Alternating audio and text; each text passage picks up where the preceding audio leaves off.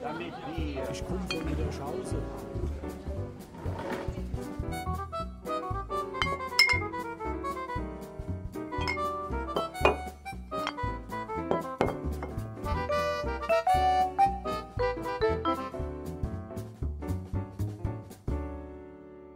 Hallo zurück zum Sovi-Stammtisch der undefinierten Zeiteinheit, die wir uns den äh, soziologischen Fragen, sozialwissenschaftlichen Fragen dieser Welt in Ausschnitten äh, widmen und äh, die ihr euch zum Gehör gebracht hat.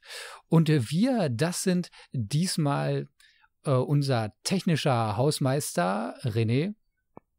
Hallo, ich will aber dazu sagen, ich möchte eigentlich gar nicht mehr technischer Hausmeister genannt werden, weil mein, mein, Wissen über die Technik ist so gering. So, ihr werdet heute, wir kriegen hier nie was fertig, das ist doch scheißegal. Mann, oh Mann, oh Mann. Ich wollte das ja nur, äh, die Leute fragen mich dann an, wie technische Probleme zu lösen sind. Ähm, der, es ist nur ein sehr hoher Abstand zwischen meinem geringen Wissen und deinem und Jegos nicht wissen, was die okay. Technik angeht. Okay, ähm, also zurück unserem ähm, unserem äh, technisch Sonntagssoziologe reicht schon. Unsere, unserem, unserem Sonntagssoziologen, der die technische Verarbeitung von dem, was wir hier abliefen, bietet. Und heute dabei Klaus Kusanowski, der selbsternannte soziologische Scharlatan, der uns heute begrüßt den wir begrüßen. Begrüßt du uns, begrüßt wir äh, uns? Ich weiß es nicht. Ähm, begrüß uns mal. Ja, hallo. Hallo. Ähm, hallo. denn wir haben ja in diesem praktisch Audioraum, das ist ja praktisch herr herrschaftsfrei. Deswegen ähm, ist das, das ist ja so eine, das ist ja so eine, irgendwie so eine, so eine Hierarchie. Wer wen begrüßt, wer, wer, wer begrüßt, der ist Chef. So ist es doch, oder? Ja. Ja, ich glaube schon in unserem Kulturkreis. Ich hätte aber noch zwei Tagesordnungspunkte. Ja, ich glaube. Zwei kurze. Ich weiß nicht, ich, ich weiß nicht, bin ich gegen den ersten oder gegen den zweiten? Du kannst dich entscheiden. Ah, ich bin gegen den. Ah, das, das kannst du ja jetzt verändern, wenn ich das vorher sage. das stimmt. Also, der erste ist ähm, zur Getränkerunde. Mhm. Wir hatten ja festgestellt, beim letzten Mal wissenschaftlich bestätigt bekommen von einem Psychologen, dass wir eine Getränkerunde brauchen in unserem Podcast. Dass das. Aber Moment mal, er hat nur, er hat nur gesagt, dass er es selber so in diesem Podcast macht. Naja, ich habe das so verstanden, dass das wissenschaftlich abgesichert ist. Was heißt das, eine Getränkerunde? Dass jeder, wir sind ja ein Stammtisch, dass jeder zum Besten gibt, was er trinkt, weil das, dann fühlen sich die Zuhörer und Hörerinnen so, als säßen sie dabei. Ah. Das denke ich nämlich nicht, dass das so ist. Überzeugt den Klaus nicht so. Doch. Ah, siehst du, doch. Sag mal doch. Ich, ich, Sag mal doch. ich finde immer noch die Tatsache, die Getränke zu, äh, zu nennen, was man, was man hat, ist so, ist einfach so verschieden von einer or originellen Stammtischsituation, dass gerade dadurch die Illusion zerstört wird.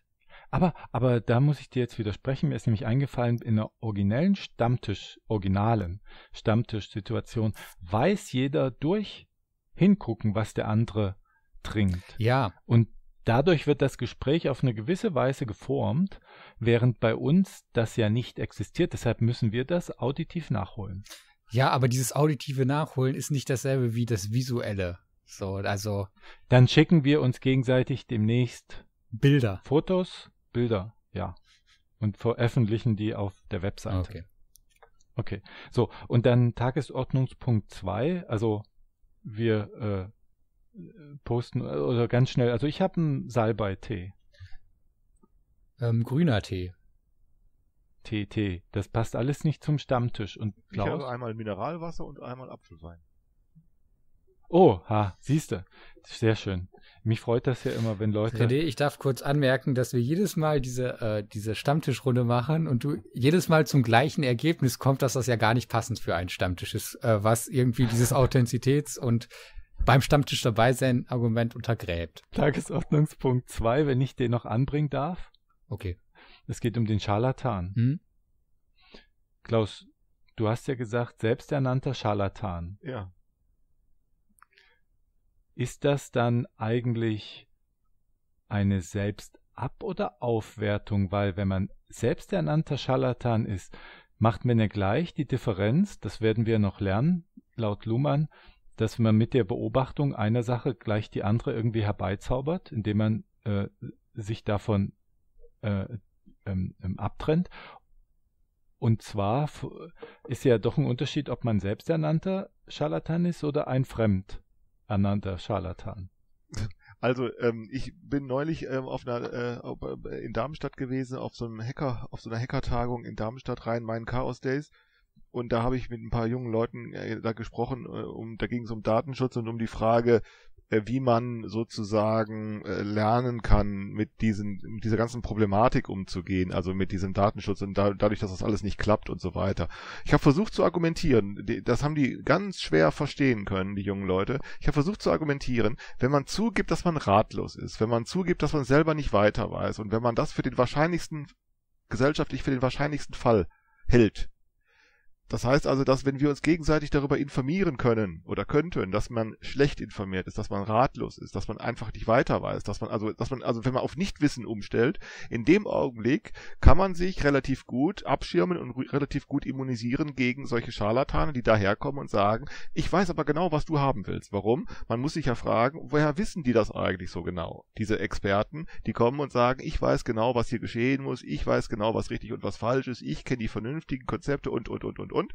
Ne, alle anderen sind ratlos, aber nur einer, der weiß es genau. Und dann würde ich sagen, in dem Augenblick, wo man zugibt, dass man ratlos ist, wo man hilflos ist oder wo man erstmal nicht genau alles weiß, äh, ist man relativ gut immun gegen so eine Charlatanerie. Und das kann man auch umkehren, indem ich dann andersherum sage, ich stelle mich nicht als Experte vor, ich bin nicht einer, der sich auskennt, ich bin äh, einer, der Bescheid weiß, sondern ich sage, ich bin einfach ein selbsternannter Scharlatan. Damit immunisiere ich mich gegen die Kritik, die dann sagt, ja, wie Klaus Klosanowski, du redest, du, du bist Zeug. Dann würde ich sagen, ja klar. Äh, warum auch nicht? Also wir dürfen ja nun einfach reden. Äh, und äh, verstehst du, das ist im Grunde genommen äh, diese, äh, diesen, diesen Witz, den auch der, der Thilo Jung macht mit seinem Jung und Naiv. Er immunisiert sich einfach dadurch Kritik, indem er sagt, ich, ich bin jung und naiv. Und wenn man ihm jetzt, kann man ihm alles Mögliche kritisieren, aber nicht mal, dass das naiv ist. Verstehst du, was ich meine? Ähm, und äh, so mache ich das mit dieser selbst, mit diesem selbsternannten Scharlatan auch. Also, äh, weil es, weil die Kritik ja irgendwann auch äh, anfängt dumm zu werden, weil man, weil es im Prinzip möglich ist, alles und jedes zu jedem Zeitpunkt zu kritisieren. Äh, und in dem Augenblick fängt das an dumm zu werden und man immunisiert sich, indem ich sage, okay, ich lasse jede Kritik zu, damit auch die Kritik, dass ich ein Scharlatan bin, dass ich dummes Zeug rede und dann kann ich genau darauf schon reagieren und sagen, ich bin ein selbsternannter Scharlatan und damit kann man die Kritik töten. Mhm. Aber ich, äh, ich überlege gerade, weil das es, es ist doch aber es ist doch aber irgendwie so, dass egal was wir, also wenn wir auch mit, mit, mit, mit Wissen und wir deklarieren uns jetzt selber irgendwie als, als Menschen, die es gar nicht genau wissen, die eigentlich halt so ihre Einschätzungen grob geben und so weiter. Klar sind wir damit denn gegen die Kritik immunisiert, aber es ist doch so, dass je nachdem, in welcher Stellung wir sind, was wir sagen und wie wir handeln, konkrete Auswirkungen hat. Das ist ja ähm, die Frage.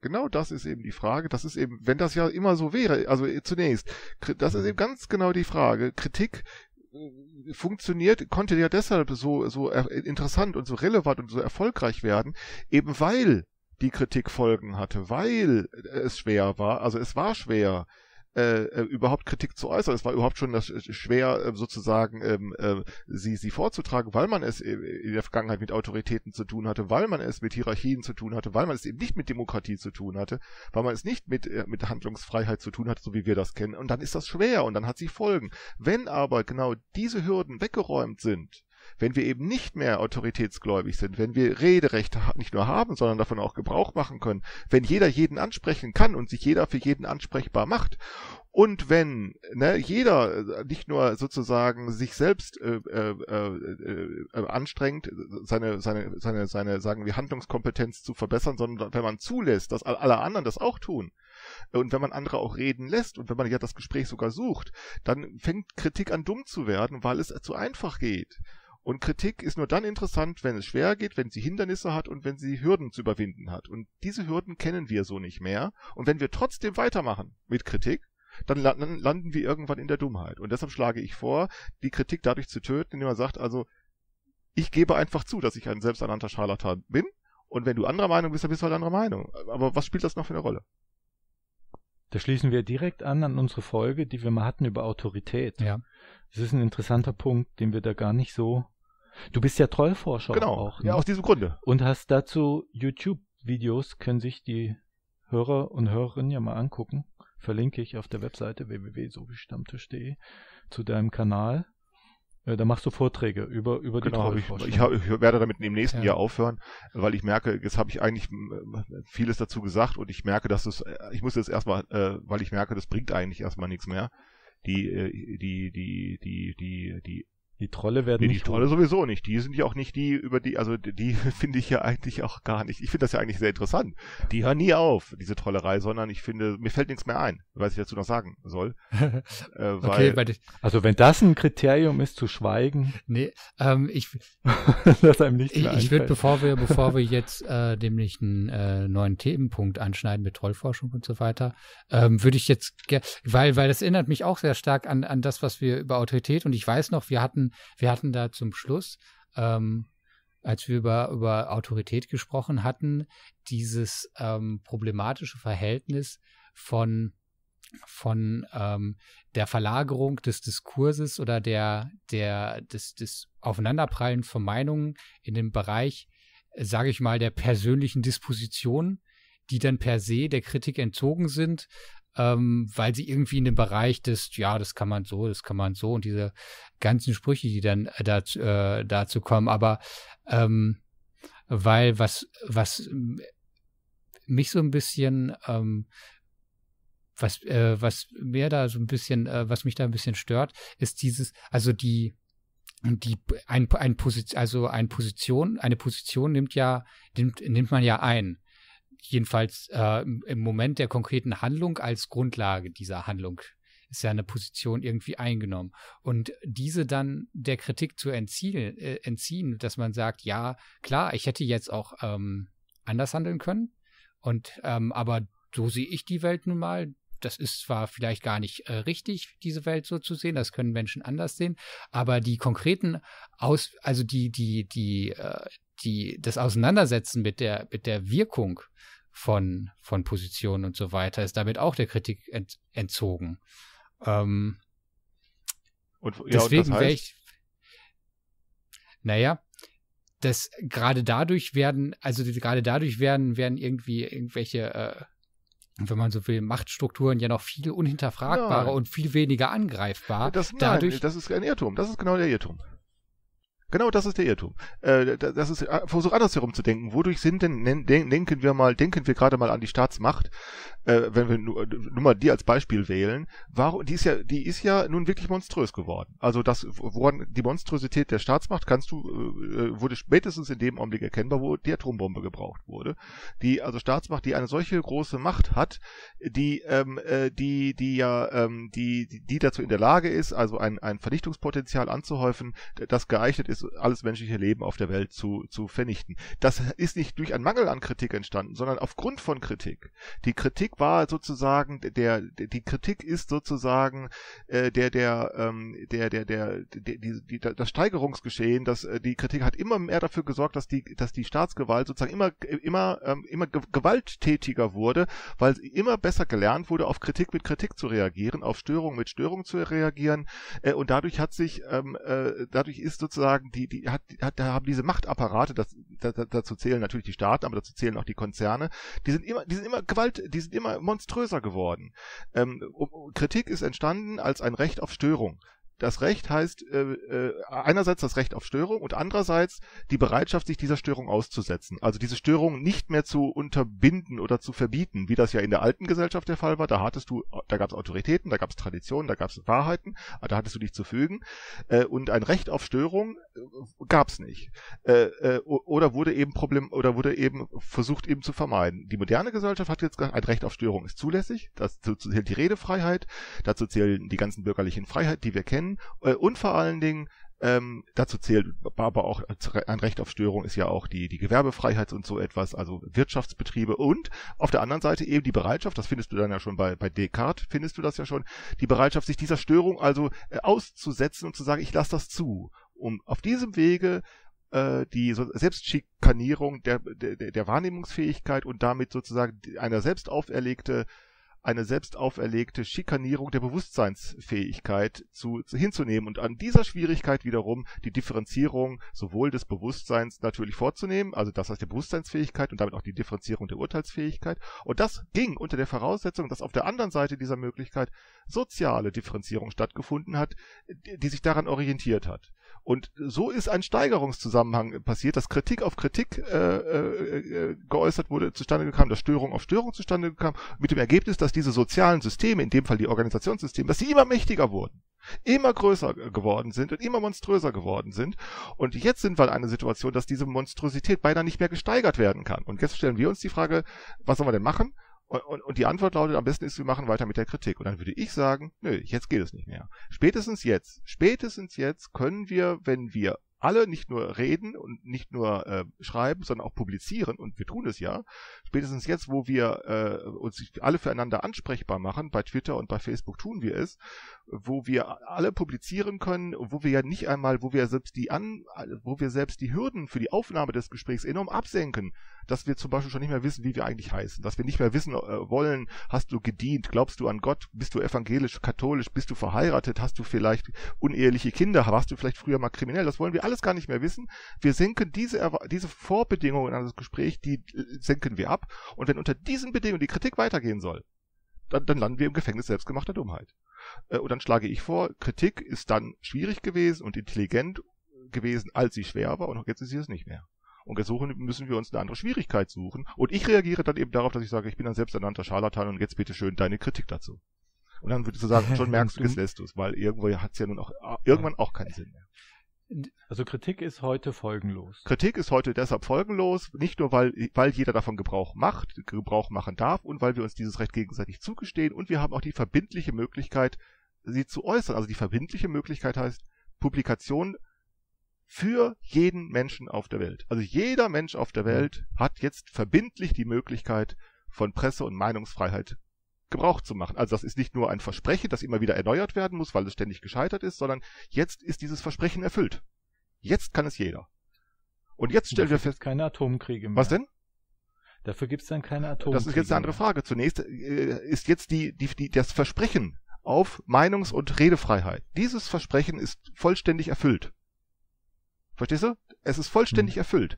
Äh, und zwar für alle Menschen auf der Welt und nicht nur für, für äh, und es können bald auch schon Kinder und bald auch schon Analphabeten äh, und vielleicht auch bald schon Tiere und Computer, äh, also die auch noch Redefreiheit äh, äh, Gebrauch machen können.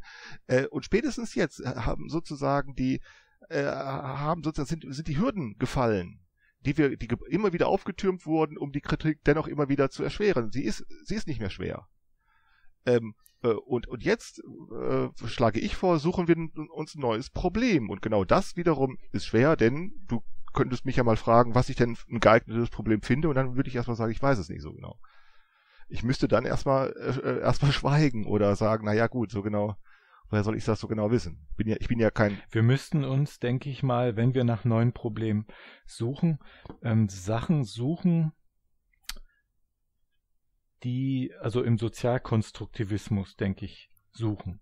Und zwar Sachen, die wir für selbstverständlich halten alle. Gucken, ob man die nicht kritisieren kann, wie zum Beispiel Gender oder so.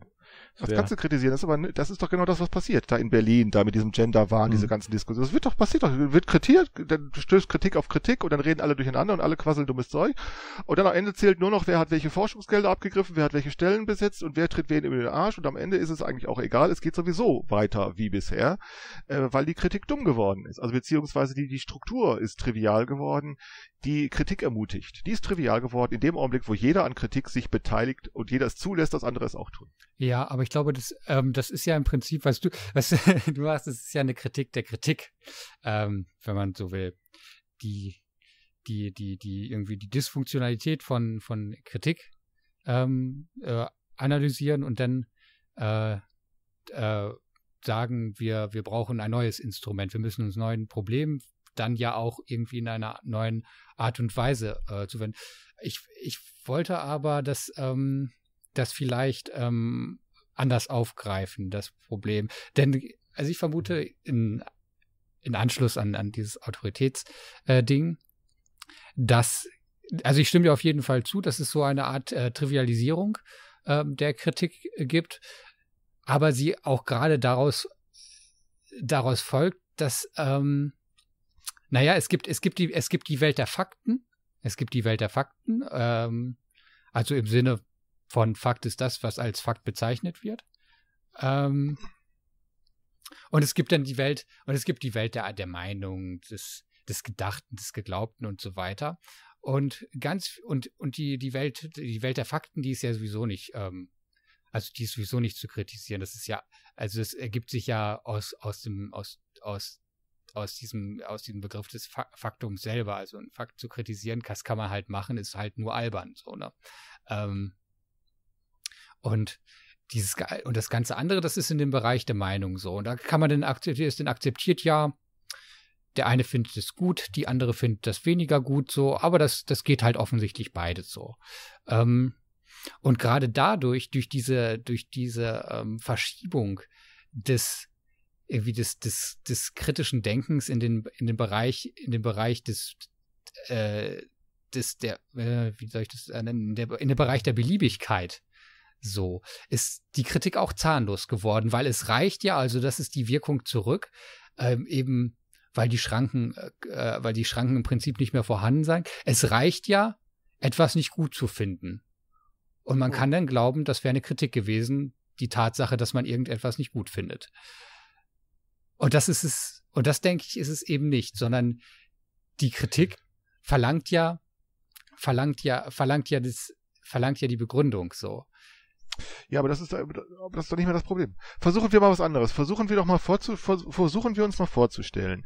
Wie, also, die Begrü also, für uns ist das relativ einfach. Also, damit will ich nicht sagen, du kannst alles und jedes ganz, ganz schnell begründen. Das kannst du nicht. Aber für uns ist es doch relativ einfach. Für alles und jedes Gründe zu finden. Eine andere Frage ist, ob sie zutreffend sind. Das ist eine ganz andere. Aber zunächst Gründe finden, Vermutungen anstellen und vor allen Dingen für uns ist es auch ganz relativ einfach und äh, auch recht, äh, äh, ähm, ohne Probleme möglich, also auch jemand zu finden, mit dem man darüber reden kann. Also das heißt, den Mut, also, also diesen Mut zu sprechen äh, und nicht nur mit bekannten Leuten, die man so kennt, sondern auch mit unbekannten Leuten oder die man, die man noch nicht so gut kennt. Ähm, äh, wir machen das relativ äh, äh, schnell und wir denken uns da auch nicht viel. Das kommt daher, weil das in einem gesellschaftlichen Zusammenhang geübt ist, geübt wurde. Äh, das kannst du deshalb so gut, nicht weil du so klug bist, äh, sondern weil alle anderen an dieser Übung äh, ebenfalls beteiligt sind und und diese Struktur sich daraufhin entwickelt hat. Versuch dir mal vorzustellen, dass das vor 200, vor 300 Jahren eben nicht so einfach gewesen ist. Versuch dir vorzustellen, dass es äh, äh, äh, nicht so einfach war, sich über irgendetwas eine Meinung zu bilden. Du kannst das wunderbar sehen, an, wenn du äh, äh René Descartes liest. Äh, René Descartes, da kannst du sehen, wie er, wie er sagt, wie er genau mühevoll erklärt, nicht wahr? Wie, wie ähm, die, ähm, äh, wie, wie man, wie man, äh, wie man denkerisch Probleme löst. Er, er schreibt es auch. Er sagt, nehm ein Problem, zergliedere Gliedere in alle, ihre, in alle seine Teile und dann arbeite dich an jedem einzelnen Teil ab und prüfe genau, ob du auch nichts vergessen hast. Für uns ist so etwas einem Kind in der Schule zu erklären, aber da war das, weil er das ausführlich schreibt in seinen Meditationen, das war schwer äh, äh, äh werden wir das heute lesen, sagen, na klar, das kann heute jeder, ein Kind, ein Schulkind kann das heute. Du kannst es einem Schulkind von zehn Jahren ohne weiteres erklären. Ähm, äh, aber im 17. Jahrhundert war das schwer und nicht leicht. Da war das schwer, sich über Meteorologie Gedanken zu machen oder sich über Medizin Gedanken zu machen. Ähm, äh, also auf so eine Idee zu kommen, dass es zum Beispiel so etwas wie Blutkreislauf gibt oder so. Wie soll man sich das erklären können? Und all diese Dinge. Oder dass diese Erde sich um die Sonne dreht. Äh, wie soll man sich das erklären können? Also wenn es keine Theorie für, keine Erklärung für Schwerkraft gibt, wenn es keine Erklärung für Trägheit gibt. So etwas anzunehmen ist schwer äh, und nicht erleicht. Ähm, und, ähm, äh, und überhaupt das Sprechen können mit irgendwelchen Menschen. Also versucht dir auch mal vorzustellen, wir haben Bücher massenweise, wir haben Radio, wir haben Fernsehen, wir, wir kennen ganz viele Themen, wir haben eine äh, ganze alphabetisierte Bevölkerung. Also, paar, also jeder Mensch äh, ist alphabetisiert und nicht etwa nur eine Minderheit, sondern jeder Mensch. Für uns ist es sehr schwer, leicht, äh, Themen zu finden oder Gesprächspartner zu finden, finden äh, und dann ist es auch sehr leicht, uns, äh, uns, äh, na, uns anzusprechen. Vor 200 Jahren, 300 Jahren war das nicht so einfach. Äh, und, und vor allen Dingen auch, äh, wir können auch sehr schnell über verschiedene Dinge sprechen. Du kannst äh, in, in der einen Minute über Literatur sprechen und schon in der nächsten Minute dumme Witze machen und dann reden wir über Medizin und dann vielleicht über Fußball. Vor 200 Jahren ging das nicht so ohne weiteres.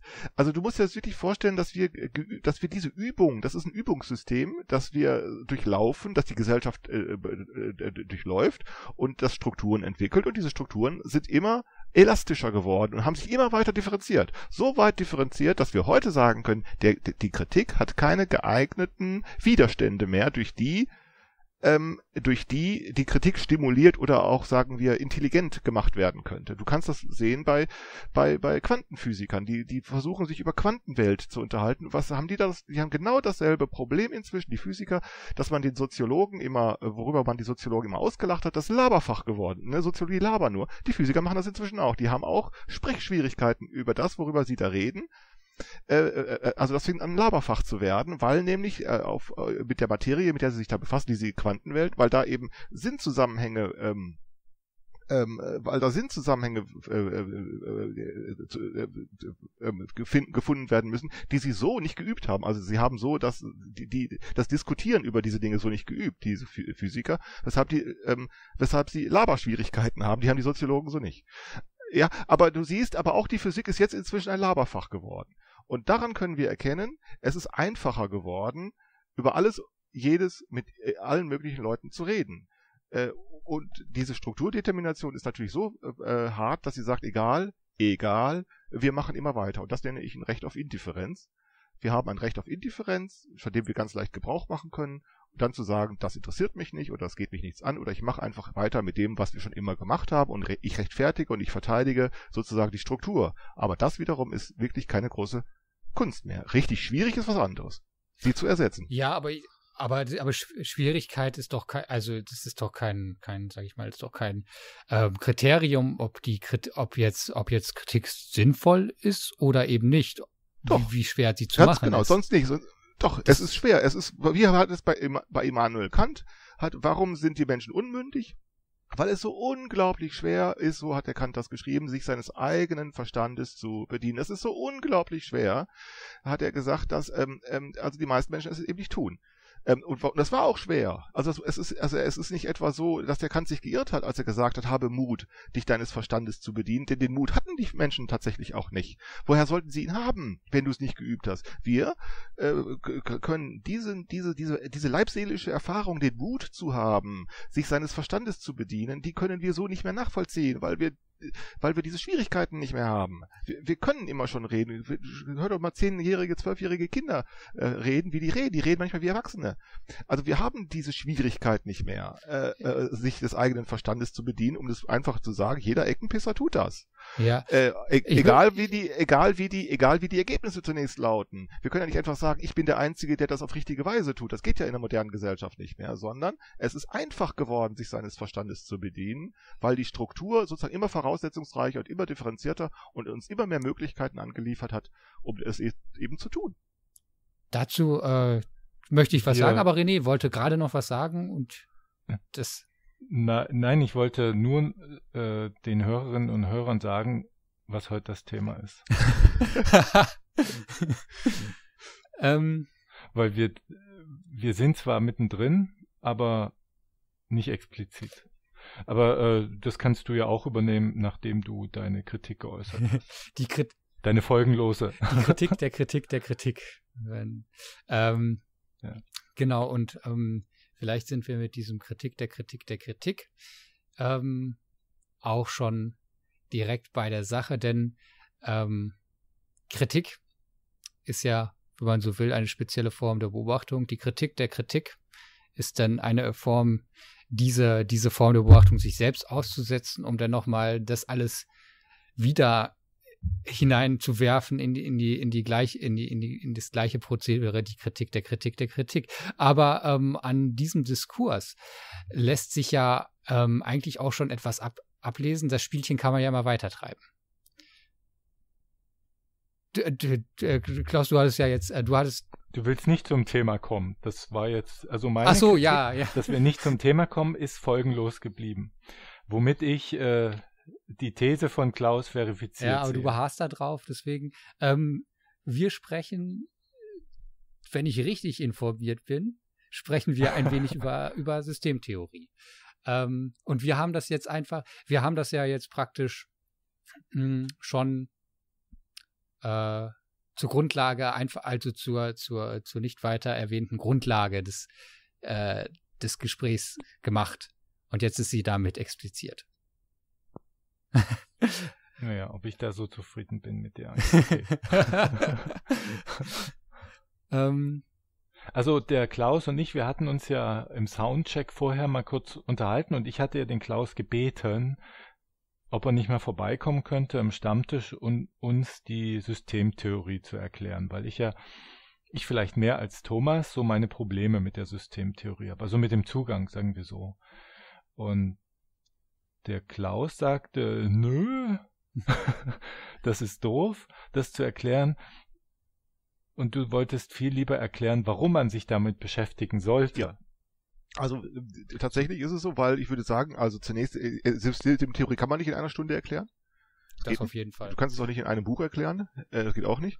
Mm, das erstens, zweitens, ähm, es gibt schon ganz viele äh, Bücher darüber, die eine Einführung in die Systemtheorie die, äh, die liefern, also die liefern dir eine Erklärung dafür, wie äh, das funktioniert. Die gibt's schon, äh, gibt's ganz viele Bücher. Das Interessante ist, äh, wenn du diese Bücher liest, dann bist du bist auch nicht viel klüger. Und äh, vor allen Dingen gibt es natürlich auf Wikipedia-Artikel schon aller, allerlei, sodass wenn du keine Lust hast, äh, eigentlich dich damit zu befassen, hast du gute Möglichkeiten, es zu tun, indem du einfach dich mit äh, einfach so einen Wikipedia-Artikel liest oder so. Nein, ich würde deshalb nicht sagen, weil ich sage, ähm, ich, ähm, ähm, ich finde Systemtheorie sehr wichtig, sehr interessant. Äh, gerade die Luhmannsche, die ich, ähm, ich halte die für, für sensationell.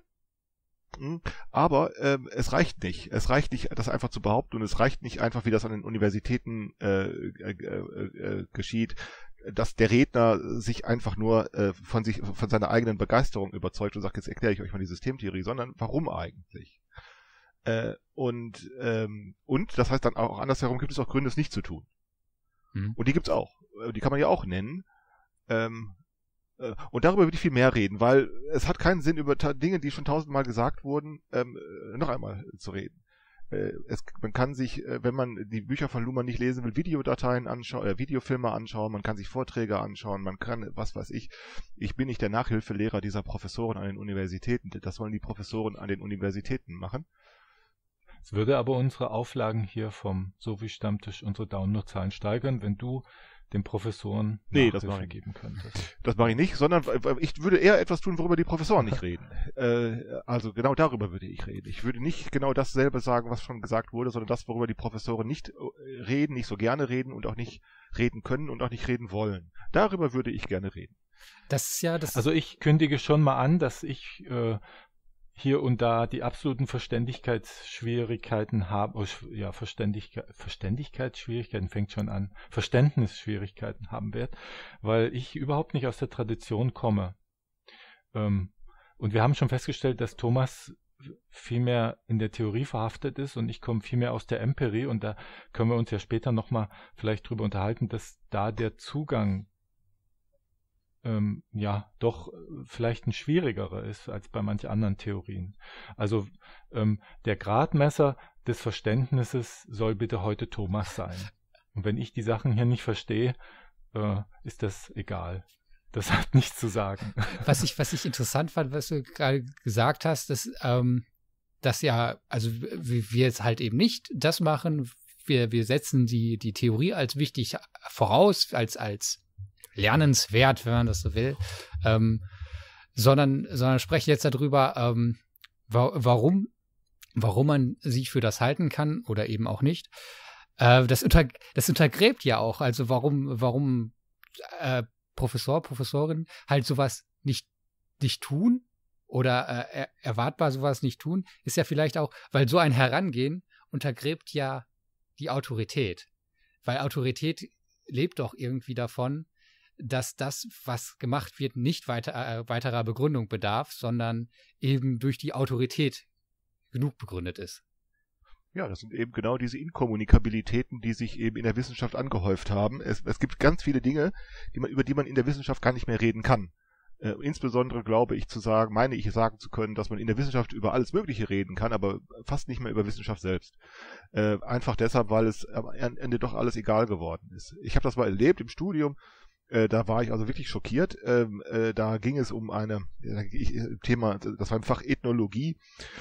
Da ging es mal in einer Diskussionsrunde darum, dass ein Professor äh, dann darüber redete, ähm, dass er von seinen Kollegen irgendwie äh, falsch verstanden wird und äh, dass die, ähm, dass da irgendwelche, was weiß ich, da ging es dann um irgendwelche Mittelzuweisungen und bla bla bla. Mm, und dann ähm, äh, äh, und dann redete er und dann kam er zu dem Punkt, in, an dem er sagte, naja sicher, das hängt eben damit zusammen, dass ich ein anderes Wissenschaftsverständnis habe. So. Und das hörte, bis zu dem Zeitpunkt habe ich ihm geduldig zugehört und dann habe ich ihn mal ähm, gefragt, ja sagen Sie mal, welches haben Sie denn? Also, äh, ne, ja, welches haben Sie denn? Da guckte er mich an, als wenn ich, und alle guckten peinlich weg. Also ich, ich war ja, ich war ja immer sehr redselig als Student. Ich, äh, also ich habe ja einfach mal eben so gesagt, was ich denke. Äh, und, und alle guckten betreten beiseite und er guckte mich an, als hätte ich äh, ihn beleidigt. Und er guckte mich, also guckte mich einfach an, sagte kein Wort und wartete nur darauf, dass andere dann das Wort ergriffen haben. Der hat also mir schlicht nichts dazu gesagt.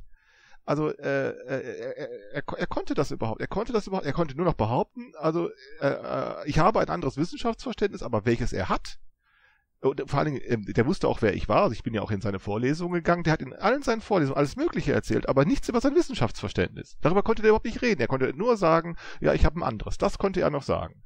Ähm, äh, und äh, aber welches er hat äh, äh, und was sein Wissenschaftsverständnis von allen anderen unterscheidet, das konnte er überhaupt nicht mitteilen. Das war nicht mehr kommunikabel. Also sprich im Sinne von, es war einfach selbstverständlich, ähm, äh, äh weil es eben, äh, weil nämlich, ähm, äh, so hatte ich den Eindruck, die, die Voraussetzungen dafür für den, sowohl für ihn, also für diesen Professor, als auch für alle anderen, einfach egal waren. Äh, ein Recht auf Indifferenz, nämlich die wissenschaftliche Freiheit, die darin besteht, zu sagen, es ist mir egal, was die anderen äh, oder was die Gesellschaft von dem hält, was ich hier tue. Mir kann das genauso gut egal sein. Ähm, äh, und ähm, das zieht sich hin über Methodenfragen. Das kannst du daran sehen, dass da, sagen wir in der empirischen Soziologie, in der sogenannten empirischen Soziologie, da werden seit Jahrzehnten turnusmäßig auf jeder Tagung die immer wieder selben die Routinen durchgearbeitet. Am Ende eines Vortrags, wenn es darum geht, irgendwelche empirischen Ergebnisse zu, zu erläutern, zu, zu erklären oder irgendetwas für wahr zu halten, am Ende eines jeden Vortrags kommt immer die Einsicht zustande,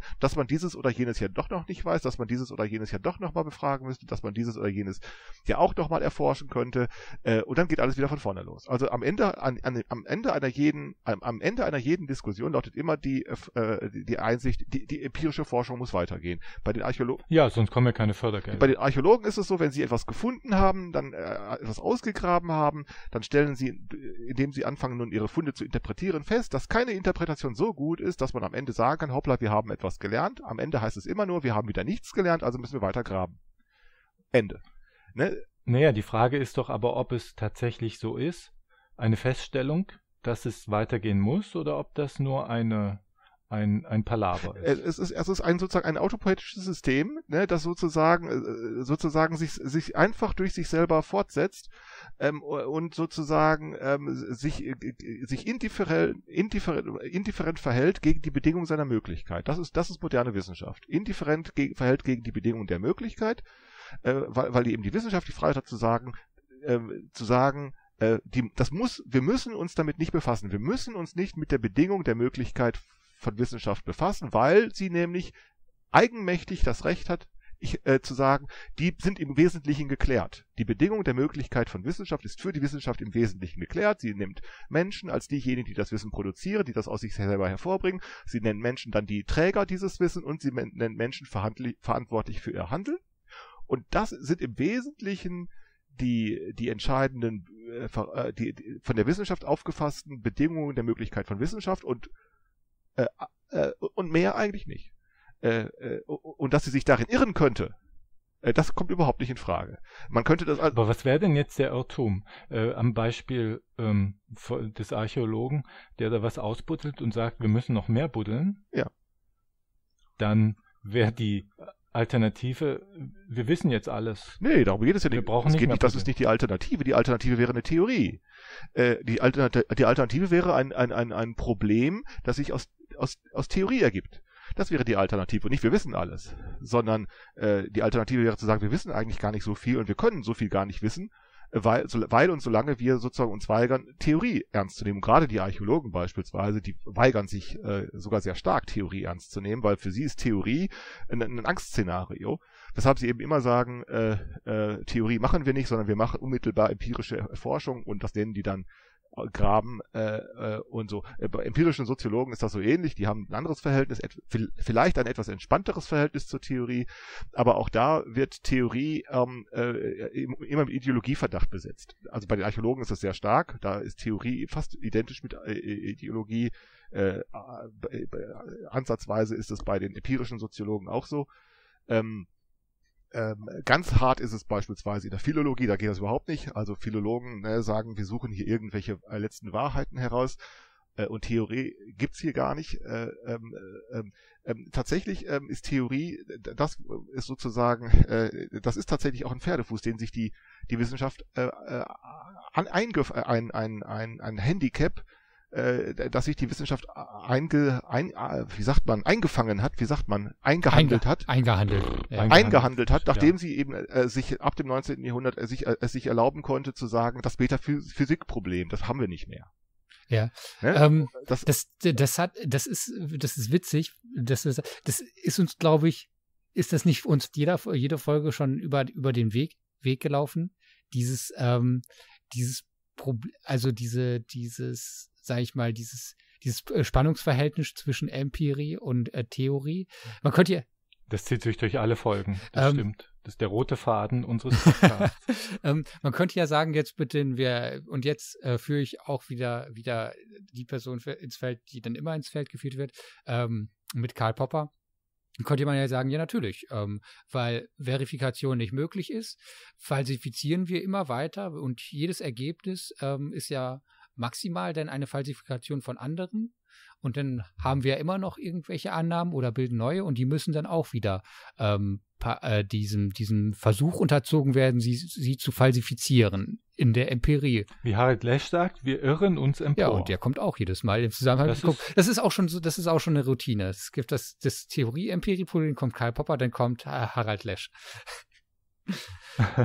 ja, das stimmt. ähm, ja, aber das ist, aber das ist doch die Rechtfertigung, das ist dann doch die Rechtfertigung für dieses, also das liefert doch die theoretische Rechtfertigung für dieses ganze, für dieses ganze Empirie immer weiter so, weil es ja schon in dieser, in dieser erkenntnistheoretischen Anlage so ausgerichtet ist, dass die Empirie immer weitergehen muss, weil die Verifikation ist ausgeschlossen und die Falsifikation oder die, der Versuch des Falsifizierens, das ist das Programm. Ja. Ja, das ist eben genau das, was bei Popper kann man genau ablesen, ne, wie Popper äh, äh, sich völlig, äh, fast bedingungslos der Indifferenz gegenüber der Bedingung der Möglichkeit von Wissenschaft aussetzt. Ne? Das kannst du bei Popper sehr gut sehen. Ähm, äh, ähm, äh, ähm, äh, der eben also sozusagen äh, am Ende, sozusagen, wenn er mit seiner, mit seiner Erkenntnistheorie am Ende war und immer noch nicht klären konnte, äh, und immer noch nicht sagen konnte, woher denn die Basissätze, die zu falsifizierenden Basissätze kommen und schon gar nicht sagen konnte, woher denn die Hypothesen eigentlich kommen, äh, äh die man widerlegen soll, ähm, äh, wo die denn herkommen. Ähm, äh, ähm, und, ähm, ähm, ähm und vor allen Dingen, das wusste Popper ja, dass er ja nicht sagen konnte, die Hypothese selber muss nicht wahr sein. Das ist ja genau der entscheidende Punkt, denn wenn die ja schon wahr wäre, wäre ja, es ja keine Hypothese mehr. Wo kommen denn die Hypothesen her? Und ähm, ähm, wo kommen sie denn her? Darüber hat Popper gesagt, das ist egal, wo die herkommen. Die kannst du dir im Traum ausgedacht haben. Die kannst du dir unter Drogeneinfluss ausgedacht. Das spielt überhaupt keine Rolle. Du musst nur Ansprüche an, Ratio, an, an rationale, an Rationalität erfüllen.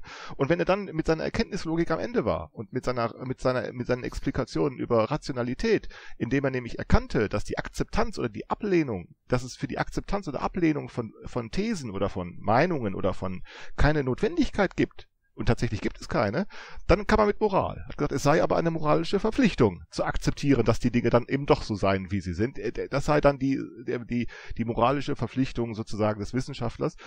Ähm, er hat also einfach die Kontingenz, der hat die, er hat die einfach sozusagen geleugnet. Er hat gesagt, es müsse am Anfang der, am Anfang der Wissenschaft oder am Anfang einer jeden Theorie immer irgendwelche Notwendigkeiten. Und wenn er dann gescheitert war mit, mit der Explikation seiner Notwendigkeiten, hat er einfach von was anderem gesprochen. Darauf hat dann ja Feierabend reagiert. Der hat dann die Kontingenz in Rechnung gestellt. Äh, aber was hat Feierabend? Woran ist Feierabend dann gescheitert? Er hat dann einen, Relativismus behauptet. Ähm, äh, aber, und das ist jetzt der entscheidende Punkt, er konnte auch nicht erklären, wie man denn, äh, wie, äh, für ihn war dann der Relativismus äh, das, das letzte aller, ähm, äh, das letzte, die letzte, die letzte Möglichkeit, um noch Notwendigkeiten zu er, erklären, also wie, wie, wie, wie Wissenschaft anfangen könnte. Ähm, auch, äh, auch Feierabend ist dann daran gescheitert, äh, zu sagen, der Relativismus äh, eben hat er, er hat ihn auch wiederum mit Wahrheit oder mit Wahrheits, in Anführungszeichen einer, von Wahrheitssätzen gesetzt einen, einen, einen erkenntnistheoretischen Relativismus. Äh, und, und dann hat er sozusagen auch wieder nur es dabei belassen, als Professor äh, diese Wahrheit zu verkünden. Und weiter kam er auch nicht. Äh, das ist ja genau der Punkt. Und mhm. erst Luhmann, der hat äh, angefangen, darüber anders nachzudenken. Und das ist der entscheidende. Für Luhmann war die Moral ja der Teufel. Äh, ja, nicht der, das heißt ja nicht das Böse, äh, sondern der, der Teufel ist ja, das hat Luhmann ja immer so gesehen, der Teufel ist ja nicht die, die ist, ist ja nicht die, die Figur des Bösen, sondern der Diabolos ist sozusagen der Vertauscher, der Verirrer, der, Ver, ähm, der Verwechsler, derjenige, der die Störung einführt, der die Verwirrung und ne, der die äh, der die Ver Verwirrung und der, der die Dinge durcheinander würfelt. Das ist der Diabolus. Also nicht etwa derjenige, der das Böse in die Welt bringt, sondern derjenige, der die, ähm, der, die, der den Irrtum produziert. Oder äh, ne? das ist ja der Punkt. Äh, und insofern ist Moral bei Luhmann dann vom Teufel, weil sie uns eigentlich ständig ähm, in die Irre führt. Mit Moral kommen wir, das ist eigentlich bei Luhmann gemeint. Er sagt nicht, Moral ist böse, das ist ja nicht so, sondern äh, Moral ist ein idealer, Moral ist ein idealer Weg, um äh, die Verwirrung zu provozieren und auf Dauer zu stellen. Hm, aber ich glaube, der Streit zwischen Habermas und Luhmann ging auch dahin, dass Habermas ihm vorwarf, den moralisch mündig, vernunftbegabten Mensch zu ignorieren. Ja, ich. aber das stimmt eben nicht. Und genau, das stimmt eben Nein. nicht. Genau im Gegenteil. Also das ist ja genau der Punkt. Also, aber lassen uns mal vielleicht, wenn wir nicht über soziologische Literatur sprechen, lass uns doch mal okay. darüber sprechen, aus welchem Grunde äh, gibt es, aus warum gibt es keinen Grund, sich mit Systemtheorie zu befassen? Also ich hätte einen wenn ich mal einen vorschlagen darf, ja, einen, einen, nicht existierenden Grund. den, den erschaffe ihn jetzt. Äh, oder, oder möchtest du nein, das, nein. Thomas? Er, er schaffe den Grund, wenn er noch nicht existiert. Nein, also ich, ich habe versucht, mich damit zu beschäftigen im Studium auch und habe auch ein bisschen gelesen und fand es auch sehr interessant. Ich konnte es halt für mich nicht empirisch fruchtbar machen. Wenn ich das zum Beispiel vergleiche mit Bourdieu, der, der ja, sowas ähnliches erschaffen hat, nur als äh, kurzes Beispiel, der hat eine soziale Feldtheorie, äh, wo jedes Feld auch nach eigenen Logiken operiert, so wie jedes System auch nach eigenen Logiken operiert, ja. Und alle Akteure kennen in diesem Feld die Regeln äh, zum Beispiel die Spielregeln im, im, Sport oder so, ja, und das nennt er die Theorie des Feldes. Und zusätzlich gibt es Regeln, die man nicht explizit kennt. Die kennt der Forscher nicht, die kennen die Leute nicht, die in dem Feld operieren. Und die Empirie schließt direkt da an, dass die sagt, okay, wir gehen ins Feld und wir erforschen die nicht äh, expliziten Regeln, indem wir uns Dokumente angucken, Texte und so weiter und die nach bestimmten Methoden, da gibt es die dokumentarische Methode zum Beispiel, so ein qualitatives äh, Instrument, wo wir uns Texte durchlesen, ohne dass wir Vorannahmen machen, also weitestgehend werden die ausgeschlossen, soweit es geht, und keine Theorien quasi mit reinbringen und dort machen wir diese Sachen sichtbar, diese, diese ähm, Regeln, nach denen operiert wird in Feldern, von Akteuren, von denen die Akteure gar nicht wissen, dass sie danach operieren. Also da geht so die Theorie richtig in die Empirie und da kann man so als Feldforscher sich den Rucksack und den Tropenhelm aufsetzen und direkt reingehen ins Feld. Ähm, natürlich geht diese Theorie von Akteuren aus. Ähm, da weiß ich nicht, wie das, äh, das ist ja bei Luma ein bisschen problematischer. So, und ich habe, das, das ist so eine richtig schöne äh, Theorie, die in die Empirie führt bei Bourdieu. Bei Luhmann und, und der Systemtheorie. Also ich habe es probiert, ich, ich, ich kriegte den Zugang nicht und ich habe immer so das Gefühl, das ist so ein bisschen wie, wenn man in Schlaraffenland will, dann muss man sich ja auch durch Milchreisberge durchbeißen. Das muss man dort auch.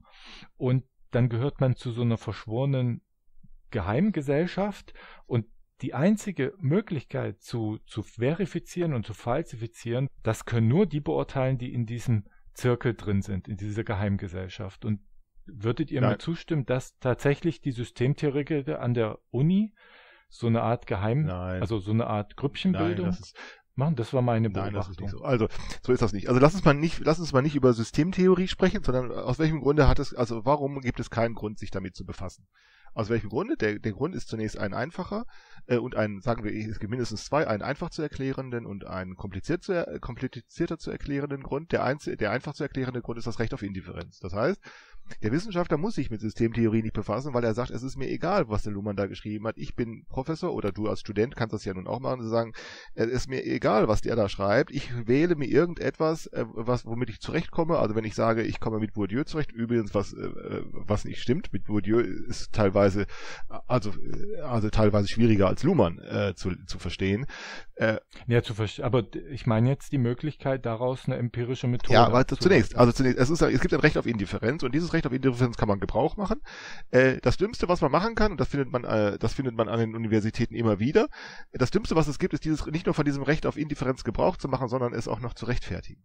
Das ist das Allerdümmste, äh, was es gibt. Ähm, also sie rechtfertigen, sie rechtfertigen auch noch, äh, äh, sie rechtfertigen auch noch, dass ihnen äh, die Dinge, mit denen sie sich, ähm, mit, also die, die ihnen genauso gut egal sein können, sie rechtfertigen sich auch noch dafür, dass sie das tun. Das ist der einfache Grund. Der, der, der, zweite Grund, weshalb man sich für Systemtheorie äh, nicht ähm, äh, zu interessieren braucht, besteht darin, ähm, äh, wie man sozusagen individuell auch zusammengeschraubt ist. Also sagen wir, was in der, was in der äh, bei Lacan oder bei Freud und Lacan heißt die Triebökonomie. Also das heißt, was ist dir eigentlich, wovor, wovor hast du Angst, wovor fürchtest du dich, wie, ähm, wie, wie lässt du dich, wie hast du die Bereitschaft, dich auf Gesellschaft einzulassen, wie, ähm, wie sind deine, wie stark sind deine inneren Hemmungen oder deine inneren Freiheiten. Und ähm, Luhmann ist es so, Luhmann kann sich nicht, mit Luhmann kann man sich nicht befassen, wenn man äh, triebökonomisch auf Sicherheit irgendwie programmiert ist, wenn man auf, ähm, auf Klarheiten programmiert ist, wenn man auf ähm, irgendwelche Lebensgewissheiten aus ist. Also dann kann man damit nichts anfangen. Also ähm, Luhmann ist äh, für all diejenigen äh, nicht geeignet, die sagen, ich will klare Sätze verstehen, ich will klare Anweisungen bekommen, ich will, äh, also am Anfang jedes Nachdenkens immer irgendwelche Klarheiten haben, seien es klare Definitionen, seien es klare Begriffe, klare Falsifizierung. Was auch immer. Wer also irgendwie falsch. auf Sicherheit, wer also auf, wer triebökonomisch, sagen wir, sicher, wer, wer auf Sicherheit setzt, äh, oder wer, wer, oder, oder wer das, oder wer das Risiko meidet und damit auch ein intellektuelles Risiko, denn das intellektuelle Risiko ist ja das Scheitern, dass man eben auch sein kann, dass es dass es nichts bringt. Das ist ja nun auch eine, eine, eine wichtige Sache. Also wer triebökonomisch so, so zusammengeschraubt ist, äh, der kann mit Luhmann nichts anfangen und der sollte es einfach auch lassen, weil es bringt nämlich nichts. Man wird dann daraus nicht klug. Andersherum heißt das dann tatsächlich, wenn du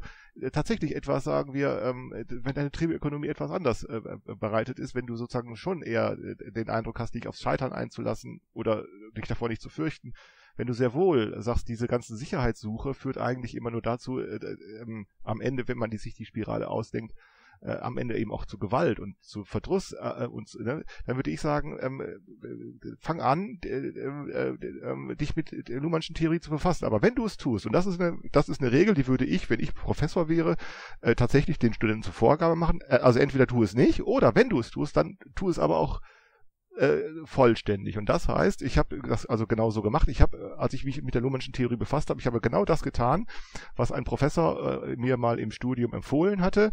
Der hatte also tatsächlich gesagt, wenn du dich mit einem Theoretiker befassen willst, damals ging es um Sigmund Freud, aber ähm, äh, man kann ja auch einen anderen wählen, ob das nun Marx ist oder ob das Heidegger ist oder, oder wer auch immer, lies es selbst. Und zwar nimm dir die dicke Schwarte vor und befasse dich damit und frag nicht, rede nicht mit anderen und lese nicht diese Einführungsliteratur und lese nicht darüber, was andere darüber gelesen haben. Das bringt dich nur noch zusätzlich in Verwirrung, sondern tu dir wirklich die Härte an, die absolute Härte, setz dich hin und fang an zu lesen. Und das genau das habe ich gemacht. Äh, ich habe angefangen um zur Jahrhundertwende, zur Jahrtausendwende habe ich angefangen, mich mit Luhmann zu befassen. Ich war gerade mit dem Studium fertig. Ich habe mich während des Studiums nie mit Luhmann befasst. Äh, und dann habe ich es getan und tatsächlich, ich übertreibe nicht, wenn ich sage, ich habe das Buch aufgeschlagen, äh, jemand hatte es mir geschenkt, äh, weil ich ihm bei der Magisterarbeit geholfen hatte. Ich habe das Buch aufgeschlagen, Gesellschaft der Gesellschaft. Ich habe nur zwei Dinge verstanden, nämlich erstens deutsche Sprache und zweitens, dass es was mit Soziologie zu tun hat und sonst habe ich nichts verstanden. und das ist keine Übertreibung. Und, und, dann ja, wer hat schon was verstanden von Luhmann ja, am Anfang? Und dann und dann also, habe ich tatsächlich drei Jahre lang, ich habe dann drei Jahre lang autodidaktisch Luhmann studiert, drei Jahre lang und ich habe auch wirklich keine Sekundärliteratur gelesen. Ich bin und ich habe auch nicht niemanden angerufen, jetzt haben wir mal irgendwas erklären. Es hat wirklich drei Jahre gedauert, äh, bis ich angefangen habe, darüber nachdenken zu können. Das dauert. Äh, aber, und das muss ich wirklich sagen, der Erfolg war phänomenal. Also ich kann, man kann nicht sagen, dass man alles verstanden hat, darum geht's nicht, sondern äh, nach drei Jahren war ich dann doch so weit, dass ich merkte, äh, jetzt fangen, jetzt fielen mir die Wiederholungen auf, jetzt fiel mir auf, dass ich manchmal den Eindruck hatte, ähm, ähm, das alles schon mal gelesen zu haben oder manches schon mal gelesen zu haben. Das findet man ja bei Luhmann sehr häufig. Und da hatte ich dann den Eindruck, so jetzt ist, ne, jetzt habe ich sozusagen erst den Zugang gefunden. Also erst in dem Augenblick, wo die Gewöhnung sich eingerichtet hat. Und das dauert drei Jahre. Und wer es schneller haben will, also wer sagt, nee, ich muss es, ich habe aber nur ein Semester Zeit und dann, ne, das soll es lassen. Das ist wirklich so. Es bringt nichts. Es bringt nichts. Beschäftige dich nicht mit Dingen, äh, die, die, die, die, die, die, die, die du nur halbherzig oder so machst. Das bringt einfach nichts, sondern tu es ähm, oder lass es. Ähm, ja, ähm, den, den, äh, den Tipp hat auch ein Prof von uns uns gegeben damals, sucht aber aus einer anderen Motivation. Wenn ihr als Soziologen bestehen wollt, dann werden euch immer Menschen über die Gesellschaft anquatschen, dann müsst ihr irgendwas erzählen können. Sucht euch ein, zwei Theoretiker, die ihr völlig vereinnahmt für euch, die dann auch konsistent sind und aus, dann, aus dieser Perspektive könnt ihr dann Gesellschaft äh, ja, das ist genau das, ja, das ist genau, das ist genau dieses Theorievermeidungsverhalten von Wissenschaftlern. Genau das Theorievermeidung. Ne? Sagen, ordne dich an der Schule unter, ordne dich an der Bande unter, ja. ordne dich an der Sekte unter, mach da einfach Aber er hat mit. selbstironisch gemeint, muss Was ich denn? dazu ein bisschen er hat schon etwas selbstironisch gemeint, muss ich zu seiner Ehrenrettung ja, ne? sagen. Aber genauso, aber auch, auch wenn es ironisch gemeint ist, äh, wenn, und selbst auch äh, gerade das, äh, auch die Ironie macht ja deutlich, wie diese, wie diese Theorievermeidung und die Wissenschaftsvermeidung in der Wissenschaft selber funktioniert. Äh, genau auf diesem Wege nämlich. Äh, ordne dich an der Schule unter, ordne dich an eine Bande unter, mach bei einer Sekte mit, äh, lass dich auf irgendeinen Zitationszirkel ein äh, und wiederhole und, und sorge dafür Normalität und bleib dabei und mache bloß nichts anderes, weil so kannst du dich positionieren und so kannst du dann ähm, äh, so kannst du dann an den Universitäten, also dich, also ordne dich in irgendeine Schublade ein und lass dich dann auf die Schublade ansprechen, in die du dich eingeordnet hast und reagiere dann darauf äh, so oder anders. Also und das ist eben genau die Art und Weise, wie in der, in der Wissenschaft Wissenschaftsvermeidung, also Wissen, also die die die die die, die Wissensproduktion vermieden wird, indem man für Normalität sorgt und indem man dafür sorgt, dass sozusagen die Dinge sich eben nicht ändern. Und genau darauf hat Luhmann reagiert. Das ist also genau der entscheidende Punkt. Der Luhmann hat nämlich gesagt, da mache ich nicht mehr mit. Also das ist tatsächlich so. Der Luhmann, das war ein Dickkopf, das war ein Sturkopf, ein Dickkopf, der hat gesagt, ich, ich mache das nicht. Äh, der Luhmann hat etwas, war ja nicht der Erste, der das verstanden hat. Äh, das war ja schon, äh, das war schon in, bei, bei Norbert Wiener in der Kybernetik äh, und früher und auch schon etwas früher in der in der Quantenphysik bei Werner Heisenberg. Da ist es schon zustande gekommen, dass man auf einmal erkannt hat. Ähm, ähm, äh, da stimmt irgendwas nicht. Ähm, bis, bislang hatte ja die moderne Wissenschaftskonzept äh, eben diesen Subjekt-Objekt-Dualismus, äh, diese Subjekt-Objekt-Unterscheidung gewählt. Äh, und über die, die Differenzierung dieser Subjekt-Objekt-Unterscheidung hat sie dann im 19. Jahrhundert eine Evolutionstheorie entwickeln können und mit spätestens, also spätestens mit dieser Evolutionstheorie konnte sie sich dann von dem metaphysischen, konnte, konnte sie es sich leisten oder es sich einbilden, äh, sie wäre jetzt stark genug, um ohne ein metaphysisches Problem ähm, äh, um ohne ein metaphysisches Problem äh, Wissen produzieren zu können. Das hat auch funktioniert unter der Voraussetzung, dass sozusagen ähm, die die die die die Sanktion der Wissenschaft durch die Staatsgewalt ähm, äh, zuverlässig funktioniert hat ähm, und ähm, dass äh, ähm, ähm sozusagen eine, eine, dass, dass eine starke ähm, Exkludierungsleistung erbracht worden ist durch die äh, durch die äh, durch die durch die Wissenschaft selbst zuerst durch den autoritären Staat ähm, und ähm, äh, äh, und, und dann wurde eben in dieser Bürokratie diese Trennung von ähm, Subjekt-Objekt, die wurde dann äh, angereichert mit der Unterscheidung von gegebener Ge Wirklichkeit und gemachter Wirklichkeit. Die gegebene Wirklichkeit, das ist eben so die Natur, das ist der Körper, das ist so die, die kein Mensch machen kann, die von sel die, die zu selbst kommen. Und dann gibt es die gemachte Wirklichkeit, das ist eben Subjektivität, das sind die Gedanken und, und das wäre veränderbar und die gegebene Wirklichkeit, das wäre nicht veränderbar. Äh, und ähm, äh, äh, so haben sich dann Natur- und Geisteswissenschaften eingerichtet und haben sich gegeneinander abgegrenzt auf der Basis derselben Unterscheidung, nämlich Subjekt-Objekt-Unterscheidung. Und dann bei Werner Heisenberg auf einmal stellt man fest, äh, der hat dann gesagt, ui, da stimmt doch was nicht. äh, die äh, Unschärferelation lässt auf einmal den Gedanken zu, dass der Beobachter die Probleme macht. Also der Beobachter macht sich die Probleme, die sind nicht einfach gegeben und der entdeckt die Dinge nicht einfach mhm. nur. Die gegebene Wirklichkeit, sondern die wird gemacht einerseits und andererseits hat man in der in der sogenannten Geisteswissenschaft ähm, äh, gesagt, äh, die, äh, die gemachte Wirklichkeit, die sei veränderbar, aber sie haben selber festgestellt, dass sie es eigentlich gar nicht können. Äh, was sie sehr wohl konnten, war eben Kritik äußern, also äh, irgendeine, äh, äh, äh, also eine, eine Theorie des kommunikativen Handelns konnten sie formulieren, äh, ähm, aber sie hatten eben sehr wohl gemerkt, dass sich damit nichts ändert. Also das heißt, diese Unterscheidung von gemachter und gegebener Wirklichkeit, äh, die wurde eben in ihrer Kontingenz auf einmal offenbar. Äh, und da hat Norbert Wiener dann darauf reagiert, äh, schon, äh, schon in den 40er Jahren, der eben gesagt hat, diese Unterscheidung von Natur- und Geisteswissenschaft, die hat eigentlich keine empirische Relevanz. Die ist, die ist Quatsch. Äh, ähm, die ist, die ist, dass, die, die ist, dass das nicht als Quatsch erscheint, hängt nur mit der, mit der, mit der Bürokratie, mit dem Machtapparat zusammen. Sprichst du einen Professor für Soziologie darauf an, dass vielleicht auch Biologen oder Physiker etwas zur Erklärung von Gesellschaft beitragen können, dann sagt er, bist du bei mir an der falschen Adresse und mach die Tür zu. Und gehst du andersherum zu einem Professor Physik oder Biologie und sagst ihm zu einem Professor für Physik und sagst, auch die Philosophen und auch die Soziologen können etwas zur Erklärung der Natur beitragen, dann sagt der Professor Tür zu, bist du bei einer falschen Stelle. Und keinen anderen Grund gibt es, als den, dass sozusagen diese die Sanktionierung durch die Staatsgewalt diese diese äh, diese Trennung herstellt. Wenn man aber mal andere fängt darüber nachzudenken, genau das hat dieser Norbert Wiener dann getan, hat gesagt, was verbindet Natur und Geisteswissenschaft, was ist sozusagen das Verbindende daran? Das ist nämlich der Begriff der Information. Information ist nämlich weder etwas Materielles, noch ist es etwas Geistiges. Äh, äh, äh, hat also sozusagen, äh, findet das Substrat eben nicht äh, äh, weder in den Zellen, äh, noch in irgendetwas, noch in irgendwelchen, äh, äh, noch in irgendwelchen geistigen Vorstellungen, sondern tatsächlich, das ist das, wodurch äh, ähm, äh, ähm, sozusagen die Wissenschaft vereinheitlicht werden kann. Und das hat er dann in eine Kybernetik versucht zu formulieren. Genau diesen Gedanken hat Luhmann ernst genommen. Tatsächlich ist es auch so. Diese Unterscheidung in Naturwissenschaft und Geisteswissenschaft ist eine reine, ist eine reine, ist eine reine, so nenne ich das, paranoische Fiktion, die durch Bürokratie standardisiert wird und durch nichts anderes.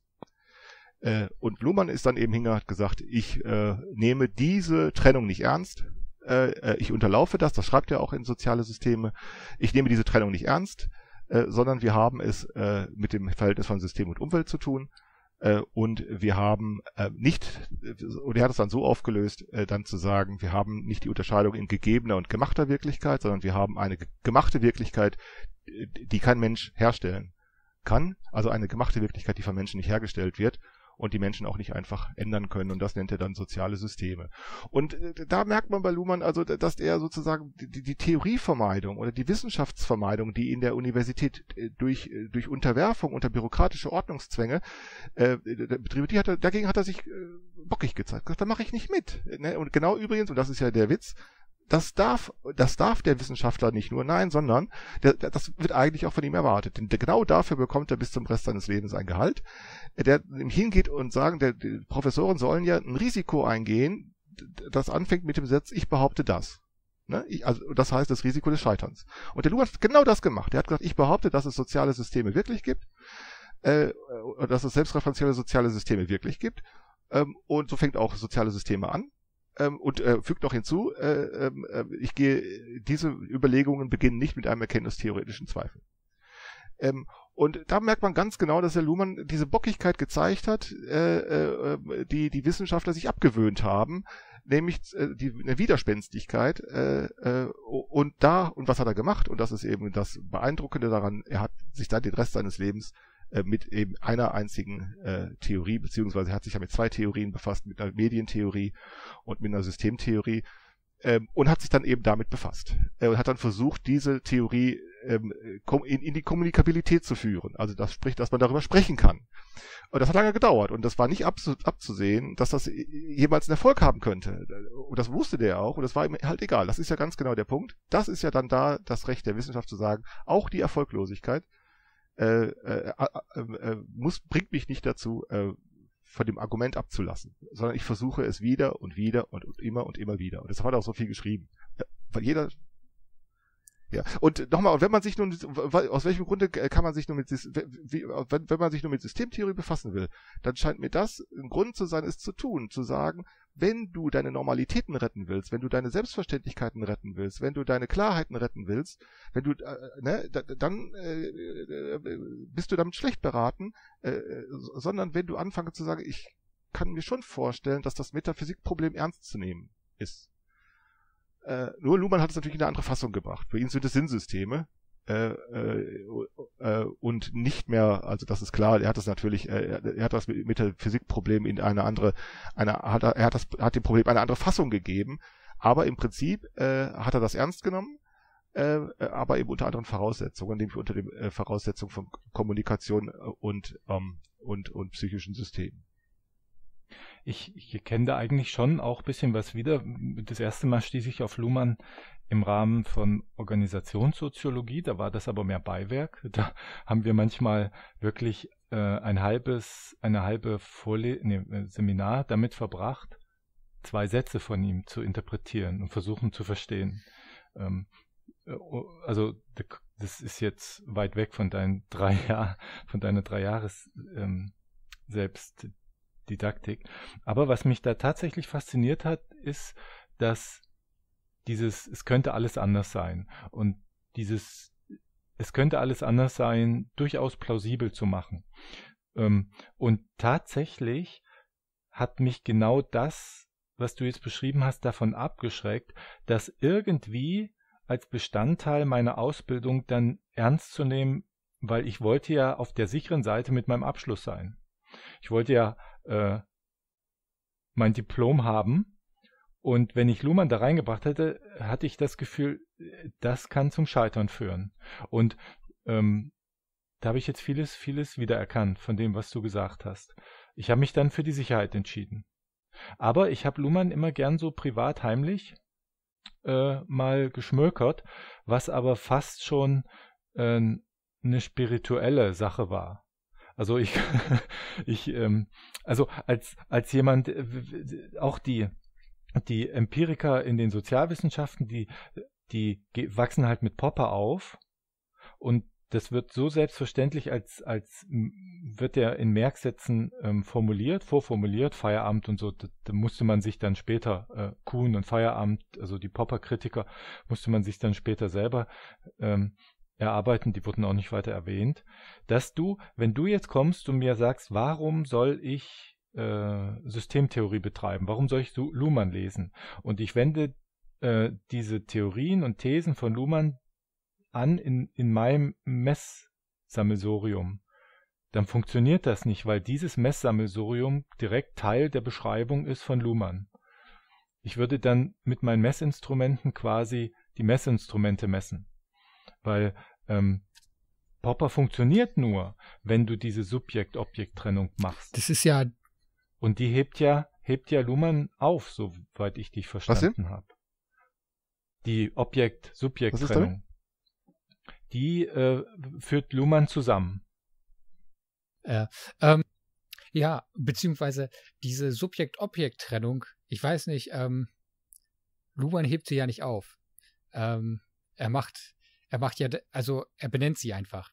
Er benennt sie und, äh, und, und begründet sie aus, aus seinen, seinen Vornamen heraus, also aus seiner Theorie. Und ich glaube, das ist auch das, was Klaus, äh, was Klaus beschrieben hat. Wenn erstmal dieser, dieser, wenn erstmal, sage ich mal, mh, hm, wenn man dieses metaphysische Problem ernst zu nehmen, das ist ja, das ist ja vielleicht, das ist ja vielleicht oft erstmal ein Impuls eines diffusen Problems, das man hat, dass, dass man, dass man das Gefühl hat, Dinge können auch anders sein. Mhm.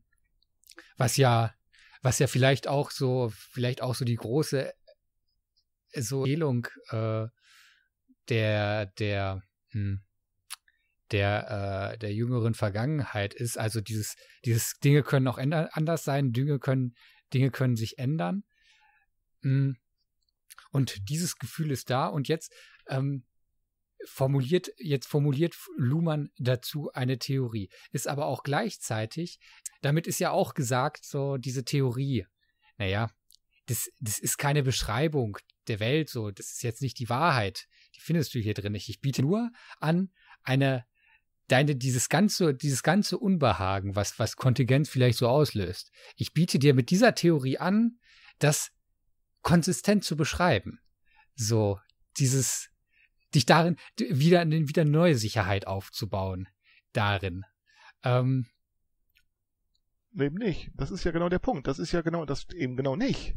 Das ist, äh, das ist, äh, also genau das, genau das Gegenteil ist der Fall. Wenn du Luhmann liest, du wirst du ständig verunsichert. Äh, es, es, du brauchst es nur zu lesen. Und, und, also, ne, dann wirst du feststellen, ich tue es gerade, ich, ich schreibe gerade einen Aufsatz über äh, der, der Zufall der Theorie. Und ähm, ähm, ich gehe jetzt vor, nehme mir alle Blumenbücher äh, und jetzt gehe ich im Register, äh, hinten schaue ich mir Zufall und ich wähle alle aus allen ähm, aus allen Büchern wähle ich eben jetzt mir die Textpassagen aus, was hat Luhmann über Zufall geschrieben, äh, und du wirst feststellen, ja, ähm, dass er also entweder jedes Mal, also entweder jedes Mal äh, überall in verschiedenen Büchern äh, dasselbe darüber schreibt oder etwas sehr ähnliches, ähm, äh, oder aber er bringt das in Zusammenhänge, die überhaupt gar keine Notwendigkeit ergeben, wo man sich ja fragt, was heißt das eigentlich? Oder was soll das eigentlich? Dass man sich fragt, wo, wo ist da eigentlich die Logik? Und du wirst ständig verunsichert. Es ist keineswegs so, dass Luhmann sozusagen ähm, ähm, ähm, äh, übrigens, er schreibt darüber auch wiederum. Also es ist, das ist ihm selber nicht entgangen. Also da, es ist ihm nicht entgangen, dass er tatsächlich auch die Kontexte äh, verschiebt, äh, äh, äh, unter denen er, sagen wir, über Zufall schreibt. Ähm, ähm, äh, das ist ihm nicht entgangen und ähm, ähm, daran kannst du feststellen, dass wenn du diese, dass die, die Theorie, von der wir da sprechen, dass das eigentlich eine hoch, also das muss auch beim Schreiben, muss das sehr viel anstrengender gewesen sein, ähm, äh, ähm, als man das so glauben möchte. Ähm, und, ähm, äh, ähm, äh, und beim Lesen wiederum, ähm, ähm, äh, das wird also was ich sagen wollte, diese, diese Schwierigkeiten beim Schreiben dürften sich im Lesen wiederfinden. Es ist sehr, sehr schwierig, das zu verstehen. Und es ist eben nicht so, ähm, dass, äh, dass da sozusagen irgendwelche, irgendwelche letzten, irgendwelche Gewissheiten äh, ventiliert werden. Dass du den Eindruck hast übrigens, das wiederum kommt daher, äh, weil du von den Luhmann-Schülern weißt. Und was machen die nämlich jetzt? Das ist ja jetzt genau der Punkt. Die machen nämlich wieder Theorievermeidung. Indem sie sich jetzt mit Systemtheorie befassen, machen sie Theorievermeidung, indem sie sich jetzt einer Schule unterordnen, indem sie sich einem einer äh, eben dieser äh, eben dieser die, die, diesem diesem diesem Zitationszirkel unterordnen äh, und jetzt nur noch zitieren, was Luhmann zitiert hat. Äh, also, äh, und jetzt genau dasselbe Spiel betreiben, das alle anderen Soziologen auch tun, denn Soziologen reden in der Regel nur mit anderen Soziologen. Äh, die, die Systemtheoretiker äh, reden jetzt nur noch mit Systemtheoretikern äh, und retten damit ihre Selbstverständlichkeit, ihre Klarheiten und gehen sozusagen damit der Gesellschaft wiederum aus dem Wege. Das hat Luhmann ja nicht gemacht. Luhmann hat ja gesagt, bei Luhmann findest du kaum Beschäftigung mit soziologischer Literatur. Also ganz selten, äh, also mit, Parsons natürlich selten mal, mit, äh, äh, mit Chelsky, äh, mit Parsons natürlich schon ein bisschen mehr, aber sonst findest du bei Luhmann kaum, fast gar nicht, äh, Beschäftigung mit soziologischer Literatur, sondern stattdessen findest du sehr viel Beschäftigung mit Gesellschaft. Und was machen nun die Luhmann-Schüler? Sie tappen prompt in die Falle jetzt beschäftigen sie sich haupt, hauptsächlich nicht mit Gesellschaft, sondern hauptsächlich mit soziologischer Literatur Lubanscher Pro, Pro, Pro, Provenienz. Ne? Also da kannst du genau die gleiche Weg der Theorievermeidung sehen, den sie eingehen, den die empirischen Soziologen oder die kritische Theorie oder wer auch immer du nennen, wen auch immer du nennen möchtest, den sie auch gehen. Sie bunkern sich ein äh, und gehen dem Problem aus dem Wege. Ja, und äh, also tatsächlich, äh, befass dich mit Gesellschaft. Der Imperativ würde also lauten, befass dich mit Gesellschaft und nicht mit soziologischer Theorie. Und die Befassung mit Gesellschaft das ist das theoretische Problem und nicht die Befassung äh, und auch nicht die Befassung mit soziologischer Literatur und in streng genommen dann auch nicht die Befassung mit die Befassung mit äh, Luhmannscher Theorie, ja, also mit Luhmannschen Schriften. ist ja klar. Auch das ist dann nicht Befassung mit Gesellschaft. Trotzdem warst du dir den Zettelkasten genau. angucken. Wir waren ja, ja alle zusammen im Zettelkastenseminar. Vortrag, Vortrag. Seminar, nein, in, in der Kunstausstellung. Ja, ich fand den großartig uninteressant. Nicht, weil das war großartig lächerlich. Also eine einzige Erbsenzählerei, eine einzige Erbsenzählerei, äh, die, die, die, die, die, die völlig unwissenschaftlich ist, aber das darfst du eben nicht mehr sagen in der Wissenschaft. Das hängt nicht damit zusammen, dass es verboten ist, sondern das ist eben das, was ich eingangs schon mal gesagt hatte. Das ist einfach inkommunikabel geworden. Man, man redet so nicht mehr. Man, man sagt nicht mehr, das ist unwissenschaftlich einem anderen äh, Wissenschaftler. Äh, äh, schon deshalb, weil es sowieso am Ende egal ist. Jeder geht am Ende doch seinem Job nach, am Ende geht eben doch, kriegt jeder sein Gehalt überwiesen und am Ende muss doch jeder sehen, wie er klarkommt, ob nun Wissenschaft hin oder her.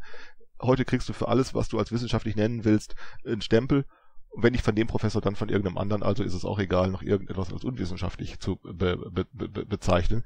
Und das ist das übrigens, aus, aus diesem Grunde finde ich Luhmannsche Theorie interessant, nämlich nicht, weil sie wissenschaftlich ist, denn wenn sie nur wissenschaftlich wäre, wäre sie größtenteils uninteressant, ähm, sondern eben, weil sie auch nicht wissenschaftlich ist. Also es muss auch eine nicht wissenschaftliche Theorie sein, denn tatsächlich, Luhmann hat sich mit Gesellschaft befasst und die Gesellschaft zu erklären, die Gesellschaft funktioniert nicht wissenschaftlich. Äh, sie, sie funktioniert, so wie das Leben nicht wissenschaftlich funktioniert, so funktioniert die Gesellschaft eben auch nicht. Und ähm, ähm, äh, also kann sie nur dann interessant sein, wenn sie eben auch in nicht wissenschaftlicher Hinsicht eine Bedeutung hat. Das heißt, also würdest du mir dann recht geben, ich habe Luhmann immer so heimlich für mich verstanden als den Rilke der Soziologie. Also kennt ihr Rilke? Vom die, Namen her. Dichter? Also der macht sehr, äh, ja, also ich bin ein großer Fan und man kann aber nicht wirklich bestimmen, was er jetzt genau sagt. Also das wiederzugeben ist schwierig, aber es ist, ähm, es bringt zum Klingen irgendwas in einem.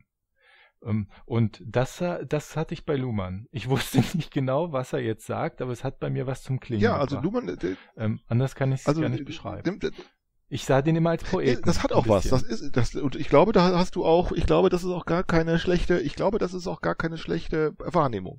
So ähnlich würde ich das so ein bisschen auch sehen. Der, ähm, äh, äh, äh, ja, also, mh, Soziolog eigentlich ist der Luhmann derjenige, der die soziologische Sabelei ähm, auf die Spitze getrieben hat und genau so und, und auf eine Weise äh, auf die Spitze getrieben hat, dass man schon wieder sagen kann, äh, das ist schon wieder intelligent geworden. Also da fängt das hat schon wieder das hat schon wieder was, weil er die, so, weil er die soziologische um Sabelei von der anderen Seite aus überholt hat.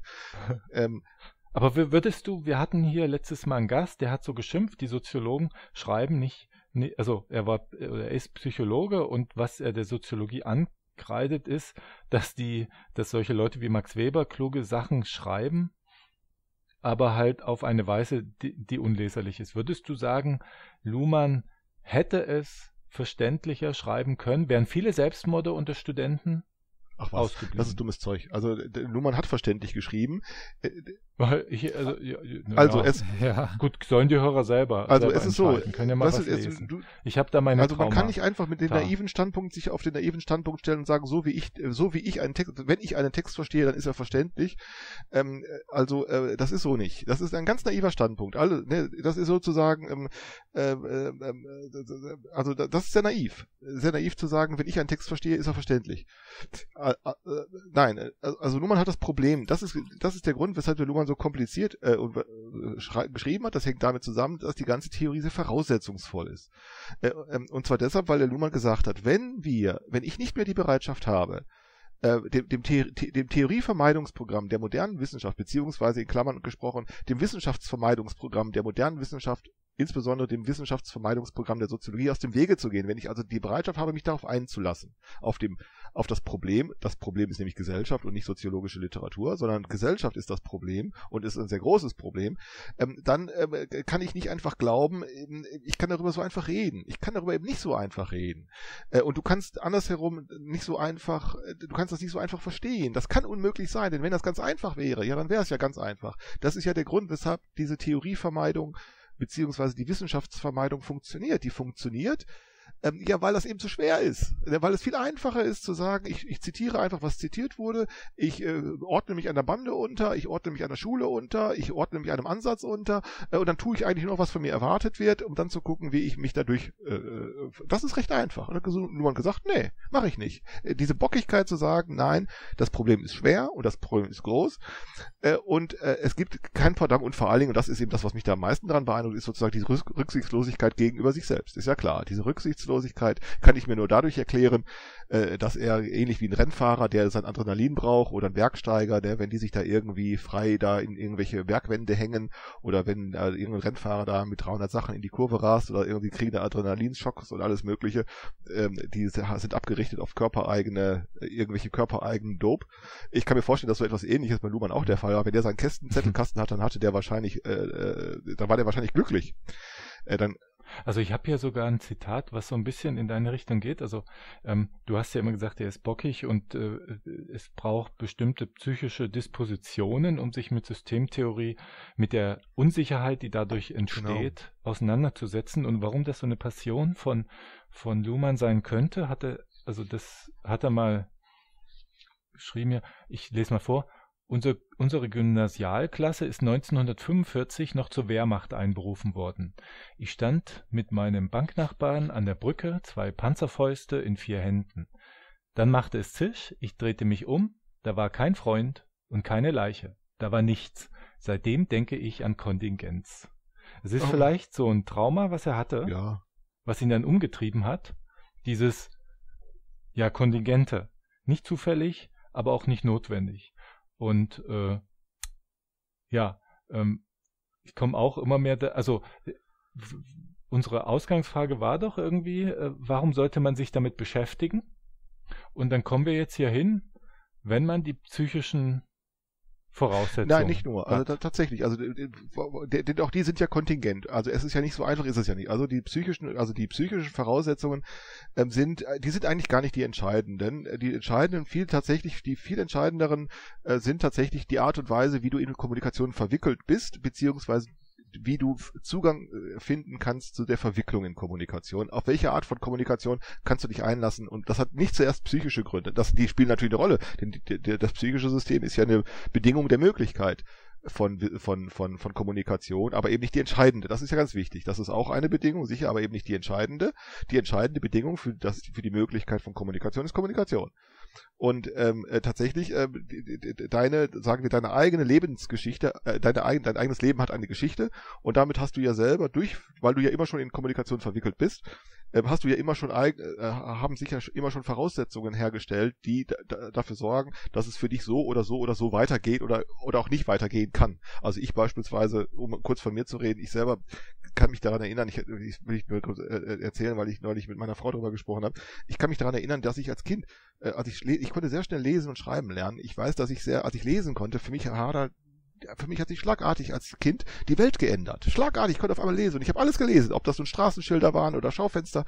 Ähm, äh, und für mich war das so faszinierend, lesen zu können äh, und, auch, äh, und auch schreiben zu können, dass ich als Kind, ohne dass mich irgendjemand dazu gezwungen hat oder dass das irgendjemand von mir erwartet hätte, dass ich angefangen habe zu schreiben. Ich habe Bilderbücher abgeschrieben. Da vor dem Haus steht ein Auto und aus dem, in dem Auto sitzt ein Mann. So habe ich das gemacht, da war ich acht Jahre alt oder so. Und ich habe das nicht geschrieben, um das irgendjemandem zu zeigen, ähm, sondern sondern ich habe das einfach nur geschrieben, um es zu tun. Äh, äh, und als Kind habe ich mir nichts dabei gedacht. Ich habe es halt nur gemacht. Aber damit will ich nur sagen, das sind genau diese, diese psychischen Voraussetzungen, die du mitbringst. In meinem Fall war das die Empfindlichkeit für Schrift die dann dazu, dazu geführt hat, dass ich äh, also äh, Bücherwurm wurde.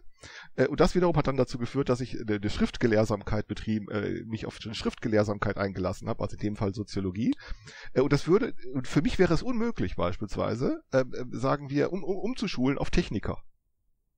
Ja, äh, ginge nicht mehr. Mhm. Also nicht nur, weil ich zu alt bin, sondern das wäre auch vor 20 Jahren schon nicht mehr gegangen weil einfach selber Voraussetzungen geschaffen worden sind, die äh, also jetzt dafür sorgen, dass es für dich auf diese oder diese weitergehen kann oder auf eine bestimmte Weise eben nicht weitergehen kann. Und das ist aber dann ist es doch im Umkehrschluss gar nicht so weit zu behaupten, ein Techniker kann auch nicht mehr auf so äh, auf Systemtheorie. Es ist nicht so, dass es nicht geht, sondern nur, äh, das würde ja in dem Vortrag, dem Zettelkastenvortrag von dem Schmidt da er an, äh, angedeutet, er, äh, Luhmann selber war Jurist und war am Anfang, war er als Jurist, äh, hatte er, ähm, stand er mit Soziologie ähm, auf Kriegsfuß. Ne? Erinnerst du dich? Er hatte einen Vortrag, mhm. einen Zettelkasten, er hatte aus dem ersten Zettelkasten von Luhmann einen Zettel rausgeholt, da kommentierte Luhmann irgendein Exzerpt mit dem mit, mit den Worten ähm, dieses oder jenes in der Rechtstheorie, das wird jetzt zu soziologisch. Es gleitet Oder es gleitet Psychologie ab. Genau, ich, weil er war eben als Jurist eben ähm, äh, da in diese Kommunikation und dann hat er natürlich als Erwachsener dann nochmal Soziologie studiert und dann hat er sozusagen sich geändert. Also das was gibt's ja. Es ist ja nicht so, dass es nicht geht, sondern nur willst du sozusagen, ähm, äh, dann musst dich, dann musst du dich selber ändern. So, du musst dich selber ändern. Wenn ich ja sagen wir wollte anfangen, mich mit technischen äh, äh, technischen Apparaten zu befassen, ich hätte da schon irgendwie Lust zu, aber ich wäre sozusagen enorm, wie soll ich sagen, ich wäre ein enorm äh, langsamer Schüler und ich müsste wirklich jemanden haben, der mir ganz viel Geduld mit mir mitbringt also sagen wir so Elektronik, äh, äh, Elektronikbastelei oder so. Es ist nicht so, dass ich darauf keinen Bock hätte, sondern nur, es müsste wirklich jemand sein, der sich um mich kümmert, weil alleine könnte ich es nicht. Und ich würde dafür auch sozusagen den Bock nicht aufbringen, das zu tun. Ne? Aber kurz, damit will ich sagen, es geht schon. Also es ist ja nicht so, dass du vollständig determiniert bist, äh, äh, sondern die Determinierung ist nur äh, ähm, äh, sozusagen die die Determinierung ist äh, die, die muss sich selbst sozusagen, die muss sich selbst äh, in ihre die muss die muss ihre eigene Kontingenz in Erfahrung bringen. So äh, und dann kannst du dich natürlich auch ändern, ist doch klar. Ähm, ja, ähm, ich hänge gedanklich immer immer noch ähm, bei der äh, Subjekt-Objekt-Trennung. Von einer halben Stunde. So, ja. ähm, und was ähm, nicht nur, weil das, weil das einfach ein, was, weil wir schon oft drüber gesprochen haben in verschiedenen Zusammenhängen hier, äh, sondern auch, äh, weil in gewisser Weise sich die Theorie mh, hm, von Luhmann auch, äh, auch darin wiederholen kann, weil was, äh, was du gerade gerade sagtest, ähm, er sagt es. Und also ich finde, es ist schon möglich, ähm, diese, diese Sicherheit, die man in der Luhmannschen Theorie findet, ist die Sicherheit, ähm, Kontingenzen, wenn man sie denn beobachtet, sie nicht ablehnen zu müssen, weil sie, weil sie irgendwie die, die eigene Identität gefährden oder ähm, oder Dinge, mit denen man gerne umgehen möchte, weil man sich daran gewöhnt hat, ähm, sondern weil sie, weil die Theorie einen, einen Umgang mit Kontingenz ermöglicht. Und das ist wiederum, und das ist wieder, also da, daher speist sich eine Sicherheit, ähm, die dann aber, also denn die aber auch nur dann passieren kann, wenn man, wenn man tatsächlich irgendwie ein Problem mit Kontingenz hat und vorausgesetzt, äh, man hat irgendwie das Gefühl, es gäbe so etwas wie Kontingenz. Darf ich das unterfüttern? Ähm, das mit einem Zitat? Nein, ich möchte. Nein, ich möchte, dass, dass meine Ausführungen unbewiesen irgendwo stehen bleiben und dass jeder sie ablehnt. Nein, nein, ja. nee, natürlich. Ich dachte, er wäre fertig, aber ich verstehe die Systemtheorie auch nicht so.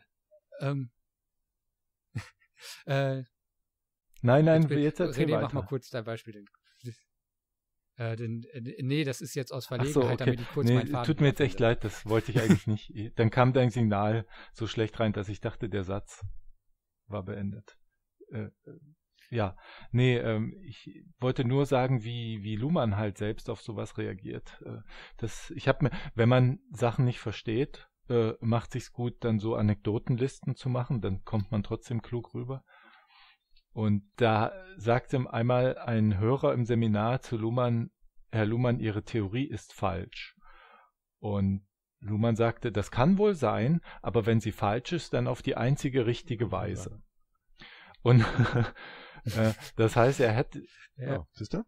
Und das habe ich auch in anderen Sachen gelesen von Luhmann, dass er überhaupt kein Problem damit hatte.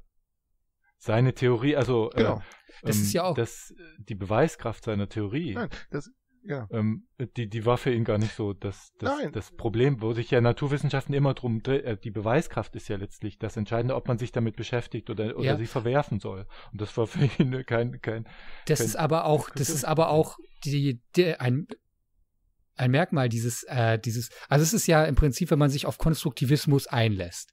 Ich sage immer, es gibt ja so eine, es gibt ja im Prinzip so eine, so eine, sage ich mal, so eine geschmeidige Art des Konstruktivismus, äh, mit der man sich gut schmücken kann, ne, indem man einfach halt Sachen ähm, für konstruiert hält, um anderen eins auszuwischen, ähm, die dann aber, die dann aber sich irgendwann natürlich mit der Frage konfrontiert sieht, mit dem man sich als, äh, also mit dem, mit der sich Konstruktivismus befassen muss. Ja, wenn das alles konstruiert ist, dann ist ja auch das konstruiert, also ist es irgendwie hinfällig so. Da brauchen wir ja gar nichts machen. Und dann ist es eigentlich auch egal. Und das ähm, regt mich immer auf. Das natürlich, ist ein Argument, also, was mich wirklich immer aufregt. Aber gut. Naja, und aber es hat schon, es hat schon so seine gewisse Begründung. Ne? Also wenn und aber das, aber das ist zum Beispiel ein Argument, was auf Luhmanns Theorie nicht zutrifft. Denn sie ist natürlich, sie geht natürlich davon aus, dass auch sie selber ein, ein, ein Konstrukt ist, dass das so oder auch anders sein könnte. Also die Gesellschaft, die, die in der, in der, in der, der Luhmannschen Systemtheorie gebaut wird, so, da die Gesellschaft kann auch anders sein oder auch gar nicht vorhanden sein. Ähm, aber die Theorie ist insofern konsistent, weil die Theorie, also es kommt, also die Theorie schafft es aber, sich selber in einen plausiblen Zusammenhang zu stellen.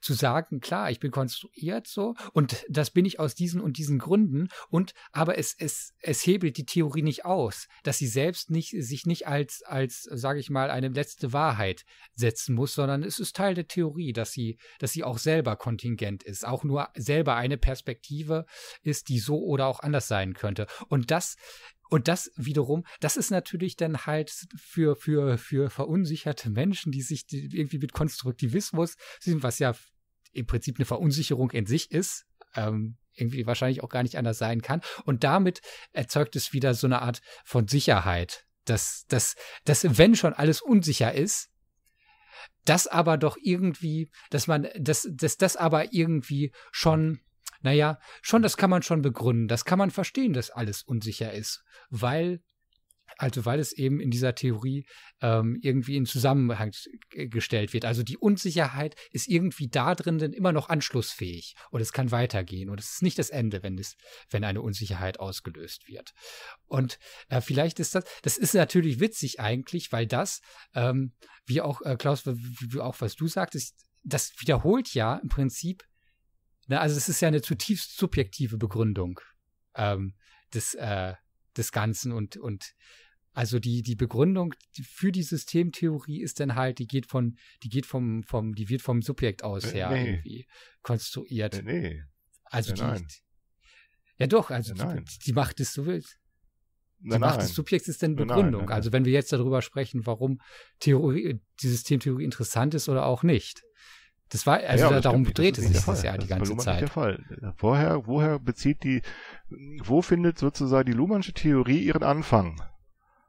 Und sie findet ihn in der, in ihrer eigenen Kommunikabilität. Ach so, nee, nee, ich meinte jetzt nicht in der, ja, ja, ich meinte jetzt nicht in der, also nicht in der, in der Begründung der Systemtheorie, sondern ähm, über unserem Gespräch über die Systemtheorie, äh, warum, ähm, warum man sich mit Systemtheorie besch besch äh, beschäftigen sollte oder auch nicht und ähm, welche Begründung und das war dann halt, das war dann äh, eine zutiefst subjektive Begründung halt, wenn man, wenn man selber irgendwie so dieses, diese, äh, wie nanntest du es, ähm, äh, Triebökonomie, was, was das? Ja, genau. Ja, also wie man eben so zusammengeschraubt genau, ist. Genau, genau. Ja, ja. aber also die, die Theorie halt, die, die Subjekt-Objekt-Trennung aufgibt, das, das hat zutiefst denn in, in, in dieser Fassung hat das denn zutiefst subjektive Gründe, warum, warum gerade das interessant ist halt für, für, für eine Person. Eigentlich nicht, denn tatsächlich ist es die Art, das hatte ich doch nachgeschickt vorhin, äh, es kommt ja auf die Art und Weise, wie du in Kommunikation verwickelt bist und welche sozusagen Verwicklungsgeschichte du mitbringst.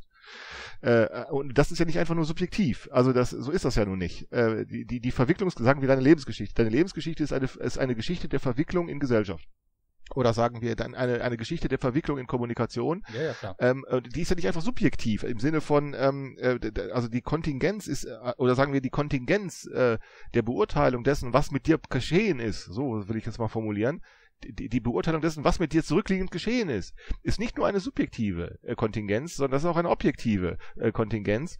Ähm, und ähm, ähm, äh, und darüber, ähm, ähm, also ähm, und äh, ähm, äh, die, die Frage ist aber nur eine andere. Wir, wir, wir können ja nicht einfach, wir können ja, wie soll ich sagen, wir können ja nicht einfach, wir können ja nicht einfach so tun, als wenn es unsere Lebensgeschichte oder sagen wir unsere Verwicklungsgeschichte, als wenn es die nicht gäbe. Ähm, äh, und dasselbe gilt äh, dann auch für, sagen wir, wenn wir mal ein System nennen, nennen äh, bezeichnen wollen, ein System, das Systemtheorie betreibt. Ähm, äh, da gilt das ja auch dasselbe. Auch, auch, die, auch, das, auch ein System, also ein soziales System, würde ich jetzt mal nennen, ein soziales System, das Theorie produziert, oder ein soziales System, das die Theorie sozialer Systeme produziert. Äh, auch das hat eine Verwicklungsgeschichte. Ähm, und, ähm, ähm, ähm, ähm, äh, und, und von diesem Standpunkt aus rede ich. Und dann sage ich dann, also, äh, und dann mag das bei dir so ankommen und sagen, naja, das ist eigentlich zutiefst subjektiv, aber das ist nicht mehr und nicht weniger subjektiv als alles andere auch. Ähm, äh, sagen wir, ob das nun Waren sind, die du kaufst, oder ob das äh, die Art, wie du deine Wohnung einrichtest oder nicht. Das ist eben nicht alles nur. Die Kontingenz liegt eben nicht nur äh, ist eben nicht nur subjektiv, subjektiv begründet. Das ist gerne die, die diese, diese das ist die Theorie, ja. das ist die Theorievermeidungsformel, ja, mit der man meint, sich sozusagen aus dem Schlamassel ziehen zu können. Immer dann, wenn man sich mit den Verwicklungen, auf die man sich dann eingelassen hat, nicht zurechtkommt, kommt man mit dem Satz, ja, das ist ja alles subjektiv oder so. Ähm, aber äh, so ist das nicht. Ja, nee, nee, das ist mir, also das ist, das ist schon klar. Nee, äh, die, das, aber das ist ja, äh, sag ich mal, das ist ja, das ist ja dann ähm, jetzt, das ist dann ja so eine Form, diese, äh, diese, diese, irgendwie diese, diese, äh, also diese, diese subjektive Fassung des Problems wieder, wieder einzufangen und dann, und dann im Prinzip im, im, im, im Nachlauf äh, zu begründen, warum dieses, diese Subjektivität irgendwie, warum, warum die als Begründung angeführt wird, aber warum sie eigentlich keine ist, weil man sie auch genau. genau, weil man sie auch anders beschreiben kann, nämlich als als als als ähm, also außerhalb, ne? Also Luhmann hatte ja, Luhmann hat ja selber gar nicht so gerne, äh, wenn ich, ich äh, jedenfalls, wenn ich mich an, an die Bücher erinnere, dass das äh, nicht so aufkommt, hat ja ungern immer vom, äh, ähm, vom Menschen gesprochen. Außer natürlich als, als Begriff, der, der halt, als existierender Begriff, der halt was beschreibt und so. Ähm, sondern es ist ja im Prinzip wenn, wenn, wenn, wenn man dann über Kommunikation spricht, dann ist ja diese Grenze aufgehoben. Dann spricht man ja davon, ähm, naja, inwieweit, also in, inwieweit halt sich, die, sich diese Kommunikationsstränge eben auch die Systemtheorie ähm, halt immer weiter fortsetzen äh, und natürlich irgendwie dann psychische Systeme als, als, als, äh, als Voraussetzung haben. Nicht als determinierende Voraussetzung, sondern ähm, als ich komme ja mit hinreichend not und notwendig durcheinander. Ähm, ist das die notwendige Voraussetzung? Ohne, ohne, ohne die psychischen Systeme gibt es keine Kommunikation. Ja, sicher. Also zunächst, soweit wir wissen, also, der, die, die, also einerseits, ja, da, eine notwendige, aber nicht die entscheidende. Das ist, also, soweit wir wissen, so könnte man sagen, ich glaube, das formuliert äh, Luhmann auch irgendwo so, an irgendeiner Stelle, hat er, glaube ich, soweit wir wissen, äh, kann es ohne äh, psychische Systeme nicht funktionieren. Also die, die Gesellschaft, ohne nicht, aber äh, die Psych, also die Psych, äh, das ist eben eine Umwelt, äh, die entscheidende, die entscheidende Bedingung für das Zustandekommen von Gesellschaft ist Gesellschaft. Beziehungsweise die, das ist die entscheidende Bedingung. Ja. Also, es ist ja also, auch und, und soweit wir wissen, geht es eben auch natürlich. Mhm. Ach so, genau. Der, ich glaube, ich weiß, ich glaube, es ist Gesellschaft, äh, Gesellschaft der Gesellschaft. Da sagt er, es geht nicht ohne psychische Systeme. Es geht aber auch nicht ohne äh, ein angenehmes Klima. Es geht nicht ohne eine sichere Umdrehung, äh, äh um die Rotationsgeschwindigkeit der Erde um die Sonne. Mhm. Es geht auch nicht ohne Jupiter und es geht auch nicht ohne Wasser. Also, da ist ja klar, weil das ja auch alles Bedingungen sind für das Zustandekommen von Gesellschaft. Ähm, äh, aber eben nicht die entscheidenden. Ne? Genau, das sind, wie, wie, wie sagt man, das sind notwendige Bedingungen, aber keine hinreichenden. Genau, das ist nicht entscheidend. Also entscheidend ist für das Zustandekommen eines sozialen Systems ist das soziale System selbst. Nur das soziale System kann dafür sorgen, dass es zustande kommt, beziehungsweise das ist dieselbe Formulierung, äh, äh, äh, nur ein soziales, äh, derselbe Sachverhalt, nur anders formuliert. Nur ein soziales System kann dafür sorgen, dass es weitergeht. Also Menschen können dafür nicht sorgen. Darum hat er ja immer in seinen Sem Seminaren, so sagt man, wenn da jemand störte, nicht eingegriffen, weil er könnte ja sowieso nichts machen, sondern gern geguckt, wie das System selbst, das Systemseminar mit der Störung umgeht. Ja, also und jetzt, äh, René, können wir ja mal zu deinem Punkt kommen mit der, mit der, mit der sogenannten Empirizität der Theorie. Also, ähm, kommen wir mal auf diesen Punkt mal zu sprechen, weil du sagst, dass mit Bourdieu, das, äh, das hat dir irgendwie eingeleuchtet. Ähm, und ähm, da, da würdest du sagen, so hast du es ja vorhin formuliert, da setzt man sich, da setzt man sich dann seinen, seinen, seinen Helm auf und seine Notizbuch und dann kann man losmarschieren, kann man ja was machen.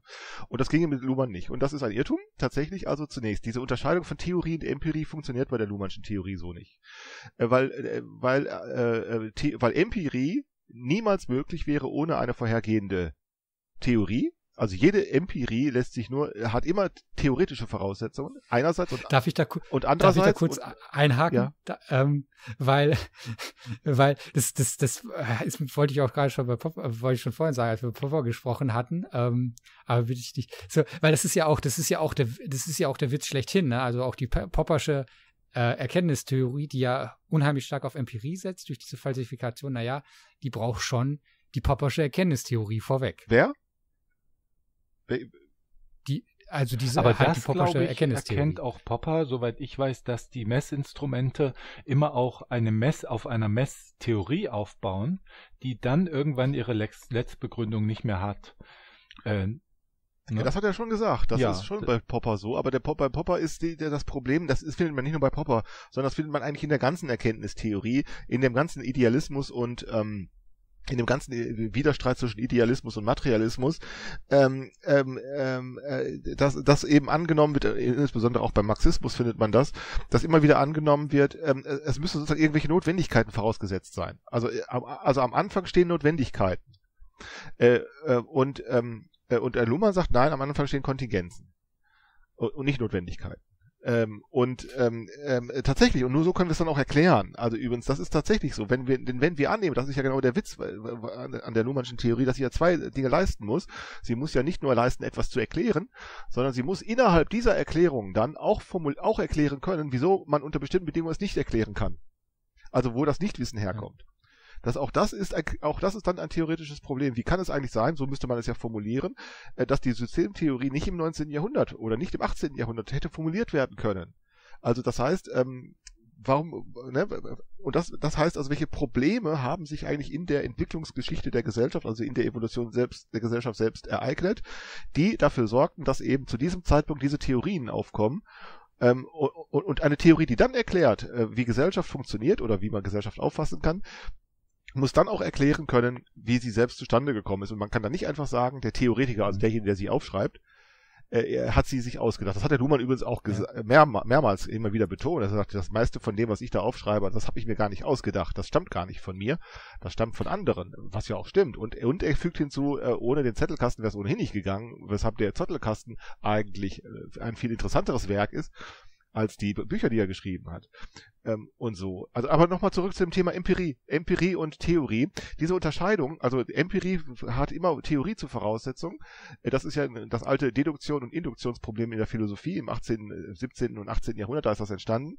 Ähm, was, ist, was, was muss immer vorausgesetzt sein? Ähm, äh, Empirie hat immer Theorie zur Voraussetzung und andersherum, jede Theorie, wie auch immer sie beschaffen sein mag und was immer man von ihr halten mag, muss, muss um ihre Anschlussfähigkeit äh, äh, herzustellen, äh, um, äh, um anschlussfähig zu sein, auch immer ihre eigene Empirizität erzeugen. Das heißt, Theorie und Empirie fallen eigentlich bei Luhmann zusammen. Es gibt nicht nur Theorie nicht ohne Empirie und Empirie nicht ohne Theorie, sondern eigentlich müsste man sagen, die Unterscheidung ist überflüssig geworden bei Luhmann. Äh, ähm, äh, und deshalb hast du sozusagen ähm, ähm, ähm äh, mit Theorie bei Luhmann genauso viel Probleme wie mit der Empirie genauso viel und genauso wenig, und in dem Fall natürlich genauso viel, ähm, mhm. äh, Probleme. Ähm, ähm, äh, und du kannst eben nicht einfach. Das ist ja genau der Punkt, was, was du eben vorhin meintest. Bei Bourdieu, da habe ich es anschließend ganz einfach. Äh, und Luhmann würde dagegen einwenden und würde einwenden und sagen, ja, ja, das glaubst du immer, dass das alles ganz einfach ist. Aber äh, das ist, das, aber das stimmt tatsächlich. Das stimmt nur dann, wenn du ein Recht auf Indifferenz äh, äh, in, äh, in, in, in, äh, in, in Anspruch nimmst, dann kannst du dir so etwas leisten. So, das ist eigentlich ganz einfach. Ich gehe da hin, ich gucke mir das an, das, was ich sehe, das, das sehe ich wirklich und so. Da sagt der Luhmann, ja, nee, was du da siehst, also, nee, nee, also so ist das nicht. Das ist der Punkt. Und der zweite Punkt, das ist ja, das ist ja eigentlich das eigentlich Interessante, was machen wir nach Luhmann? Also was machen wir, wenn wir Luhmann studiert haben? Was machen wir, wenn wir darüber, wenn wir das durchgearbeitet haben, wenn wir, so, das, den Gedanken, der kam mir dann nach drei, vier Jahren der Beschäftigung mit Luhmann, kam mir der Gedanke. Und mein Gedanke war ganz klar, eines kann ich nicht, eines kann nicht die Folge sein, nämlich eine Luhmann-Schule, äh, sich einer Luhmann-Schule zu unterwerfen. Das kann, das kann unmöglich der intelligente Fall anschließend sein. Und ich habe dann natürlich festgestellt, äh, wenn man anfängt, äh, dann darüber zu reden, dann hat man es nur mit Luhmannisten zu tun und da kann man, da kann man eigentlich gar nicht mehr. Man kann dann eigentlich mit Luhmannisten über äh, äh, äh, Systemtheorie eigentlich gar nicht mehr reden, weil das bringt eigentlich nichts. Sie, sie, sie, ähm, sie reden dann eben nicht, äh, sie reden dann über Kommunikation, insofern sie ähm, äh, äh ihre gegenseitig ihre Literaturkenntnisse. Aber wird es, ja, das bringt dieses Warnschild jetzt mal kurz zwischenzuschieben und äh, zwischen unserer Empirie, Theorie. Diskussion würdest du jetzt, also wir haben ja hier im Sophie-Stammtisch auch so Schüler und Studenten, Studentinnen, die sich das anhören. So, jetzt ist da so ein kleiner Gymnasiast, der geht zur Uni und sagt, oh, jetzt habe ich das gehört, ich gehe jetzt ins Luhmann-Seminar. Schon der falsche Ansatz? Dann kommt er in den Luhmann-Zirkel, lernt Luhmann-Literatur und wird irgendwann dort initiiert und so. Das ist ja nicht der Weg, den du vorschlagen möchtest. Das, man kann das so machen. Also das ist ja der Punkt. Man kann das so machen, denn das ist, das hatte ich ja gesagt, das Recht auf Indifferenz kannst du ins Anspruch nehmen, zu sagen, ich mache einfach das, was erwartet wird. Der interessante Fall ist doch, und der schwierige Fall, das würde ich sagen, ist eben ein anderer. Der schwierige Fall ist, wenn wir nun Luhmann mhm. ernst nehmen, dann würde ich sagen, also äh, der, der schwierige Fall besteht nun darin, dass ich sage, es, es kann nicht nur sein, wie Luhmann das ja angenommen hat, zu Recht angenommen hat, dass also ähm, äh, auch Biologen, auch Physiker, auch Psychologen, auch äh, äh, äh, Informatiker können etwas zur Erklärung von Gesellschaft beitragen. Ja, deshalb hat er ja äh, diese ganze Literatur ausgewertet. Äh, Informationstheorie, Komplexitätstheorie, Emergenztheorie und alles Mögliche.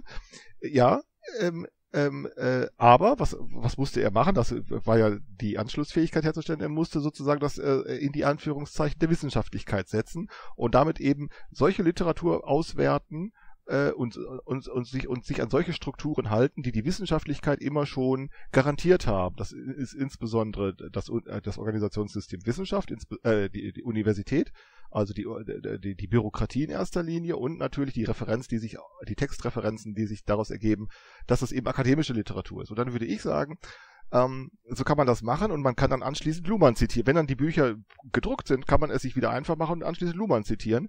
Und dann würde ich sagen, nee, also es kann vielleicht sein, und das ist ja genau das, was Luhmann schreibt, die Struktur, die, die soziale Struktur ist nicht einfach da, sondern äh, sie wird, sie wird durch äh, Beobachtung hergestellt und infolge ihrer Beobachtung wird sie geändert die soziale Struktur. Das gilt auch äh, für den Fall, dass ich eine Theorie äh, dass eine Theorie zustande kommt, die die Struktur der modernen Gesellschaft beobachtet, kann das sein, dass also in dem Augenblick, wo so eine Theorie wie die Luhmannsche Theorie zustande kommt, die nun das erste Mal etwas leistet, das die Soziologie immer versprochen hat, aber nie äh, gelöst, einlösen konnte, dieses Versprechen, nämlich Gesellschaft zu erklären, in dem Augenblick kann das vielleicht sein, dass jetzt die Gesellschaft aufgedeckt wird und dass in dem Augenblick die Struktur der Gesellschaft aufgedeckt wird, die, in dem Fall ist es die Differenzierungsform, äh, und kann das vielleicht sein, dass in dem Augenblick, wo das geschieht, die Gesellschaft da selber haben wir das Problem mit der Empirie, also wenn man jetzt rein Empiriker rangehen würde, äh, wären deine Daten dann nicht mehr reproduzierbar, weil du hast durch die Beobachtung es geändert. Und wenn ein anderer rangeht, sagt er, äh, ich habe ja ganz andere Daten und war.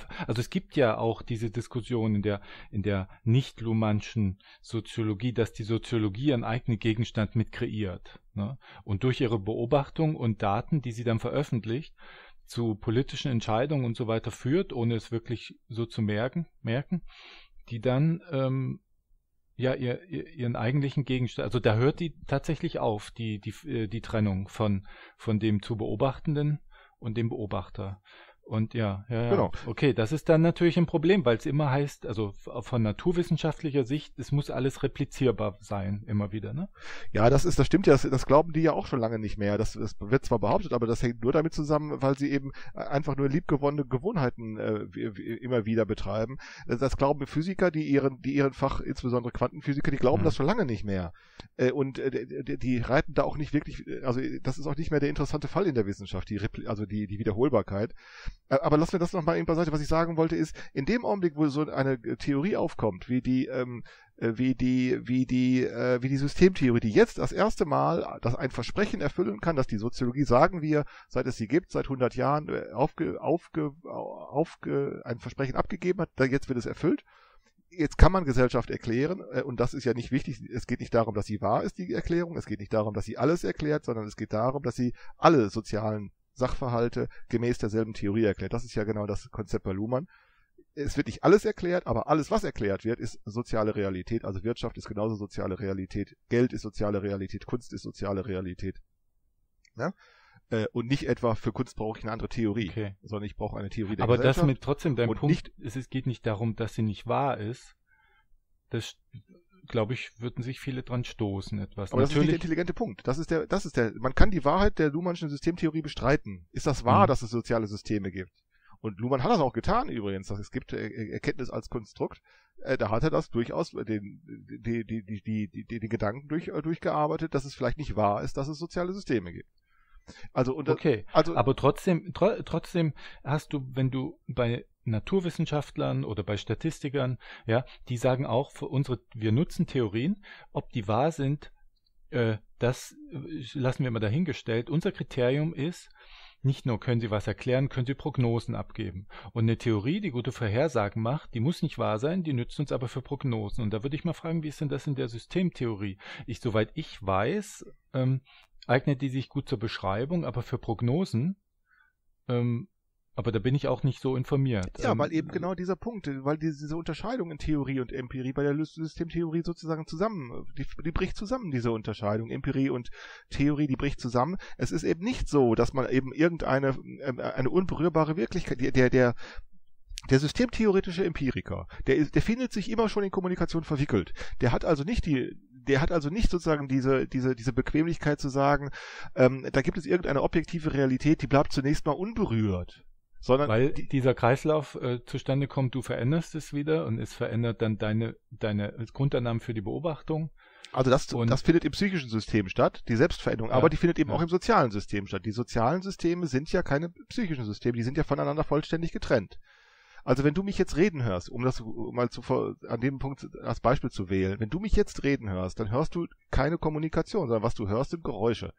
Und Geräusche sind keine Kommunikation äh, Geräusche, Kommunikation kannst du in diesem naiven empirischen Sinne, in diesem naiven transzendental, äh, transzendentaltheoretischen Sinne der von Empirie, also sofern es die Sinne betrifft, hören, riechen, äh, hören, riechen, sehen, schmecken oder so, kannst du Kommunikation nicht sehen. In diesem Sinne wäre Kommunikation nichts Empirisches, weil das, was du hörst, sind Geräusche und das ist keine Kommunikation. Und das, was du fühlen kannst, sind, ähm, äh, das sind, ist Materie, tasten kannst oder was du riechen kannst, sind irgendwelche chemischen Partikel oder so, aber das ist alles keine Kommunikation.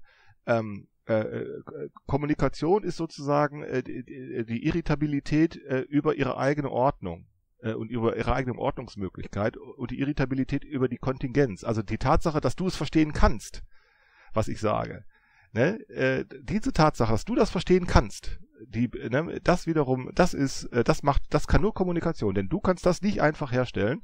Dass wir das glauben können, hängt eben damit zusammen, dass wir gut trainiert sind äh, an, an, der Beteiligung von Kommunikation. Äh, wir haben ja natürlich eine Lebensgeschichte, äh, wir, wir können ja auch Bewusstsein entwickeln und du hast ja auch vergessen, wann du angefangen hast zu denken und so. Und deshalb erscheint uns Kommunikation als reduzierbar auf, äh, auf Mitteilungshandeln äh, also in dem Augenblick, wo ich sage, ich kommuniziere jetzt, weil ich rede, aber das ist nicht so. Tatsächlich, äh, meine Rede ist keine Kommunikation. Und dein Zuhören, also dein, dein, dein Nichtreden, dein nicht, dein Nichthandeln, ist auch keine Kommunikation, sondern die Kommunikation ist das, was dafür sorgt, dass wir das tun können. Also, ne, ähm, ähm, das ist Kommunikation und in diesem Sinne ist sie sehr wohl etwas Empirisches, äh, äh, insofern als dass du ihre, ihren Ablauf testen kannst und das kannst du durch Störung, beziehungsweise ja, durch Irritation. Ähm, da kommt wahrscheinlich dann die Wissenschaftsinstitution mit ihren Kriterien für empirische Forschung äh, daher, die dann, äh, da gibt es ja schon Streit zwischen qualitativer und quantitativer Forschung, wo quantitative Forscher sagen, qualitatives Forschen ist keine Empirie. Also das sind ja handfeste Prügeleien, die da ausgetragen werden. Und da tut sich, glaube ich, die Systemtheorie schwer. Also was heißt schwer? Also das scheint im Moment äh, politisch inkompatibel, weil es geht um Zahlen, um Prognosen. Und wer das liefern kann, der kriegt den Stempel Wissenschaft. Und was mich ein bisschen äh, wund nicht wundert, aber was mich dann interessieren würde, aus Sicht eines systemtheoretischen Historikers vielleicht, warum Luhmann früher so massiven Erfolg hatte mit seiner Theorie. Also er war ja ein Gott quasi, oder? Irre ich mich da? Er war doch ein Star. Und, ja. und jetzt doch in, naja, äh, jetzt ist es, weiß nicht, ein bisschen Leichenflatterei, aber so richtig äh, in den Schlagzeilen sind Nö. ja das, die, Theoretiker Also es so. gibt ja drei Phasen. Die erste Phase ist ja, wo der Luhmann angefangen hat. Das war Ende der 60er Jahre, ist er irgendwann Professor geworden. Äh, und dann, äh, wann hat die ersten Schriften, du musst ja sehen, das hat am Anfang ja überhaupt, warum konnte der Luhmann überhaupt Professor werden? So einfach. Das, äh, das ging damals, Ende der 60er. Warum? Das ging, weil damals massiv Personal gesucht wurde an den Universitäten. Es wurde also wirklich, die Leute haben ihre Doktorarbeit abgegeben und wurden gleich schon an, kriegten gleich einen Anruf, wollen sie nicht Professor werden? Hier in, hier in Hessen war das so, da gab es diese Institution der Hessen, der sogenannten Hessen-Profs. Das waren Leute, die hatten, ja, das war so, die hatten ihre Dissertation abgegeben, ihre, die hatten die also im Prüfungsbüro eingereicht und kriegten sie Anruf, er soll doch bitte irgendeine Urkunde unterschreiben, er äh, Habilitation verfahren, um das Habilitationsverfahren einzuleiten. Äh, und das waren die sogenannten Hessen-Profs, die kriegten dann eine, eine Hessen-Professur, die durften, also die, diese, diese, äh, diese galt, galt dann nur in Hessen, diese Habilitation. Das haben die gemacht, weil damals äh, Universitäten ausgebaut oder eben wie in Bielefeld äh, äh, neu gegründet wurden. Und dann brauchten die massiv Personal. Und wer konnte eben Professor werden? Im Grunde genommen jeder, der an diesem Augenblick äh, gerade an, an, einem richtigen Ort war. Hier in Marburg beispielsweise führte das dazu, dass Verfassungsgegner äh, Professoren wurden. Also bei uns hier in Marburg war das so, dass in den 70er Jahren, da hat der Verfassungsschutz mit im Hörsaal gesessen. Äh, die haben das auch nicht heimlich getan, sondern der Professor äh, hat dann äh, freundlich nicht nur die Studenten begrüßt, sondern auch die Damen und Herren vom Verfassungsschutz hat die mitbegrüßt. Guten Tag, meine Damen und Herren vom Verfassungsschutz, bitte schreiben Sie mit. Also die haben dann da im Hörsaal gesessen, also der, weil das Kommunisten waren hier in Marburg in der Politologie, äh, Politikwissenschaft und in der Soziologie. Ähm, und, äh, und, und dann, äh, und da gab es eine ganze Menge, das waren auch übrigens eine ganze Menge Eierköpfe dabei, also eine ganze Menge inkompetente ähm, Leute äh, in den Fachhochschulen, in den Universitäten, die haben einfach eine Doktorarbeit abgegeben äh, und wurden im Schnellverfahren habilitiert. Das waren dann eine die ganz, reinsten Kontingenzprofessuren. Das waren dann eben ganz viele, die sich dann einfach den Rest ihres Lebens an den Arsch abgesessen haben. Ich habe in Marburg eine ganze Menge von diesen Professoren äh, kennengelernt, die einfach nur darum gesessen haben und, äh, äh und auf die, darauf gewartet haben, dass die Zeit vergeht. Und unter diesen Bedingungen konnte eben auch so ein No-Name-Mann äh, wie äh, Luhmann, so ein, so ein akademischer Wurzelsepp, der konnte eben Professor werden. So, ich habe das gelesen, ich kann mir das durchaus vorstellen. Dieser Helmut Schelzky war damit beauftragt worden in Hamburg, äh, da diesen Lehrstuhl in Bielefeld einzurichten. Und so wie ich das gelesen habe, muss das so gelaufen sein.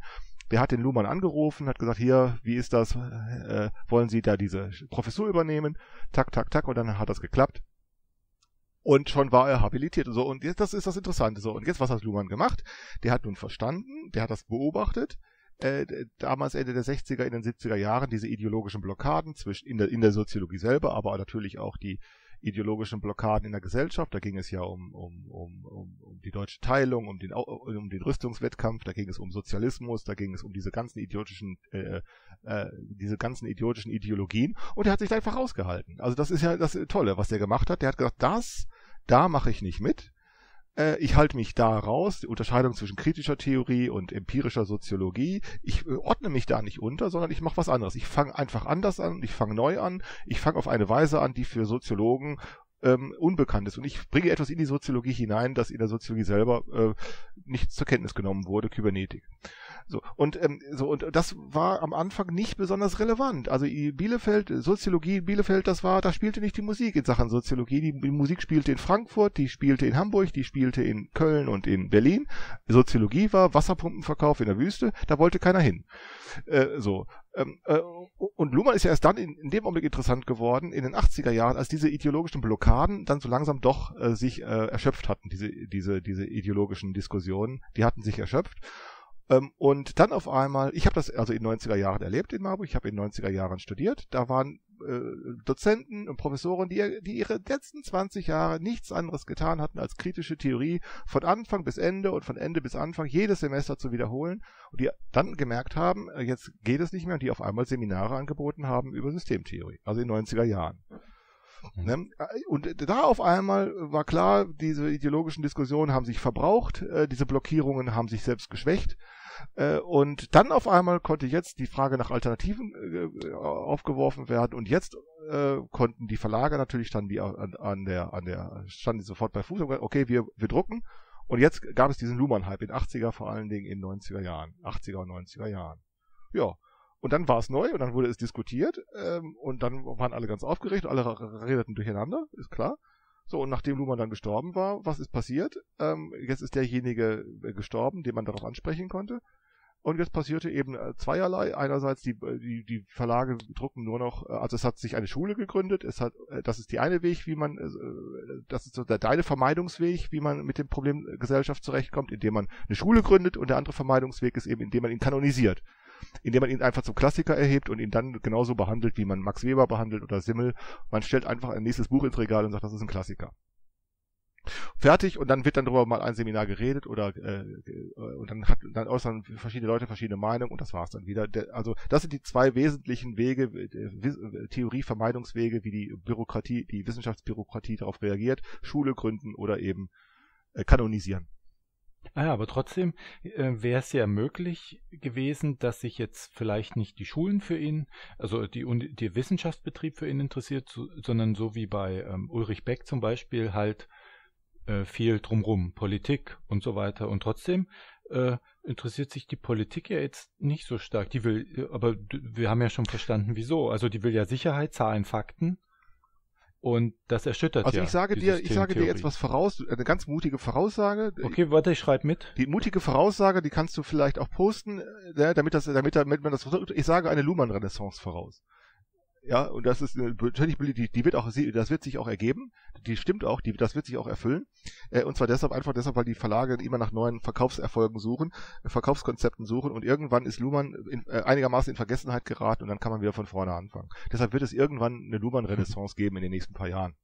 Also aus reiner Marketing. Ja, aber weil, auch an den Universitäten, das ist ja klar. Irgendwann es ereignet sich äh, irgendwann gerät es in Vergessenheit, beziehungsweise man hat, ne, ähm, und dann, ähm, dann auf einmal entsteht irgendwo und irgendwie entstehen auf einmal äh, Erwartungen darüber, dass man mit der Diskussion hm. nach vorne anfangen kann. Das ist übrigens so wie bei der, keine sehr riskante der... Prognose, und zwar deshalb, weil hm. es diese ja. Renaissancen äh, seit es Wissenschaft bürokratisiert wurde, immer gegeben hat. Immer. Also, Marx kam ja auch wieder. Genau.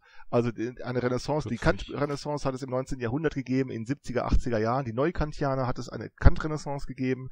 Genau, Marxismus äh, ist eigentlich erst da, äh, ist eigentlich überhaupt erst durch eine Renaissance in der, in der Wissenschaft diskutierbar geworden. Ähm, eine Renaissance, eine Freud-Renaissance hat es äh, in 70er Jahren, 80er Jahren gegeben, ähm, mit Lacan dann und so weiter in Frankreich. Ähm, äh, und eine Luhmann-Renaissance wird es auch geben. Also das ist keine sehr mutige, äh, das ist keine sehr mutige Prognose, die wird sich erfüllen, weil einfach die Systeme so zuverlässig funktionieren, dass sie äh, ja, ähm, aber ist dieser dieser Umgang von Wissen, dieser Verlauf halt dieses dieses, sage ich mal, Abschotten gegen gegen gegen Theorien oder also was was du äh, sagtest, also gegen diese Theoriearbeit durch ähm, Kanonisierung und Schulenbildung und äh, dann folgende Renaissance, ist das vielleicht ein also in der, um in der Nomenklatur von Systemtheorie zu bleiben, Umgang mit Wahrheit, also Wissenschaft ist ja im Prinzip äh, das, was, was äh, in, in, also im Prinzip der Diskurs, in dem, in dem Wahrheit produziert wird, also auch wieder im Sinne nicht von von, von einer, von einer essentiell, also von einer Essenz, wenn man so will, die wahr ist, sondern halt im, im, im, in so einem, naja, ähm, Sinne von, ja gut, Wahrheit ist das, was als Wahrheit behandelt wird. Ähm, weil, weil das hat ja, also das hat ja, das hat ja auch, das hat ja auch, wenn man so will, ähm, für in gewisser Hinsicht hat das Vorteile, dieses, äh, diese Kanonisierung und, und Schulenbildung, weil naja, man muss, man muss nicht immer ja, wieder anfangen. Äh, man, man, kann, man, kann, man kann zitieren und man kann praktisch, weil man, es, es gibt ja diese äh, Sozialsysteme und Bezugssysteme sind stabil genug, dass irgendwie ein regelmäßiger Anschluss auf gewisse, äh, auf gewisse Dinge äh, ermöglicht wird und das, das ermöglicht darauf denn, wenn man so will, ist jetzt ein bisschen lapidar, darauf weiter aufzutürmen.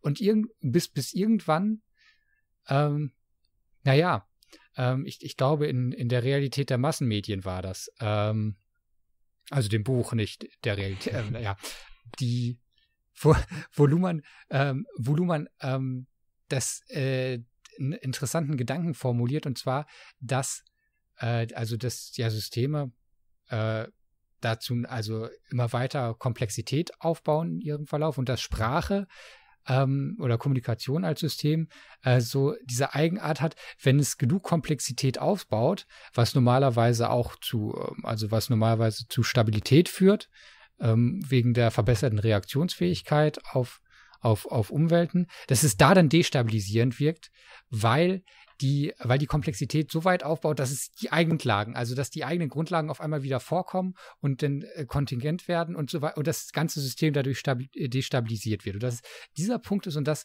dann nach Alternativen geguckt wird, dass es dann zu Renaissancen kommt. Das war ja jetzt auch 2008, als die als, als, als die so, also das wurde dann die, die Finanzkrise genannt, ähm, als die dann hinzukam, so, und dann auf einmal wurde Marx wieder entdeckt. Dann hieß es überall, dann gab es überall diese kleinen Flyer, wo Marx mit, mit so einer Cappy drauf war und dann äh, das Kapitallesen äh, drauf stand. So.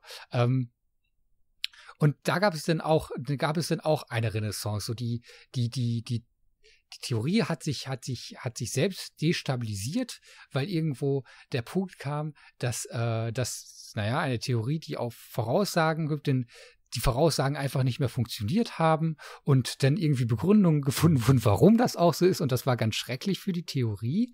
Äh, und dann kam es zu einer Renaissance einer anderen, die jetzt natürlich dann im Falle von Marx nach dieser kurzen Renaissance aber auch relativ schnell wieder, wieder äh, in der, in der, also in ökonomischer Hinsicht dann auch relativ schnell wieder verschwunden ist. Ich meine halt so in, bei, bei, in, in, in Soziologiekreisen gibt es ja immer so diesen festen, diesen, äh, gibt es immer feste Anteile, mit dem, bei denen man rechnen kann, dass da äh, sich für Marx interessiert wird. Ich hätte da eine Ad-Hoc-These ähm, zu. Oh ja, mein Ad-Hoc-Thesen sind meine Lieblingsthesen, Weil, das weißt du. Ähm, was haltet ihr davon? Ist jetzt wirklich ad hoc. Wie alles. Was ich äh, Gesellschaften, äh, in Gesellschaften haben Theorien, also nein, anders. In Gesellschaften ohne Krisen wird auf Prognosetheorien gesetzt, also alles, was irgendwelche Prognosen hergibt, Zahlen, in Gesellschaften mit Krisen setzt man auf Erklärungstheorien, nämlich solche, die erklären, wie das überhaupt zustande kommen konnte, was hier passiert.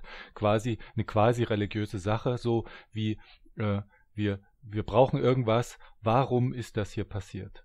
Ist jetzt nur ein Ad-Hoc, müssen wir mal überlegen. Äh, was haltet ihr davon?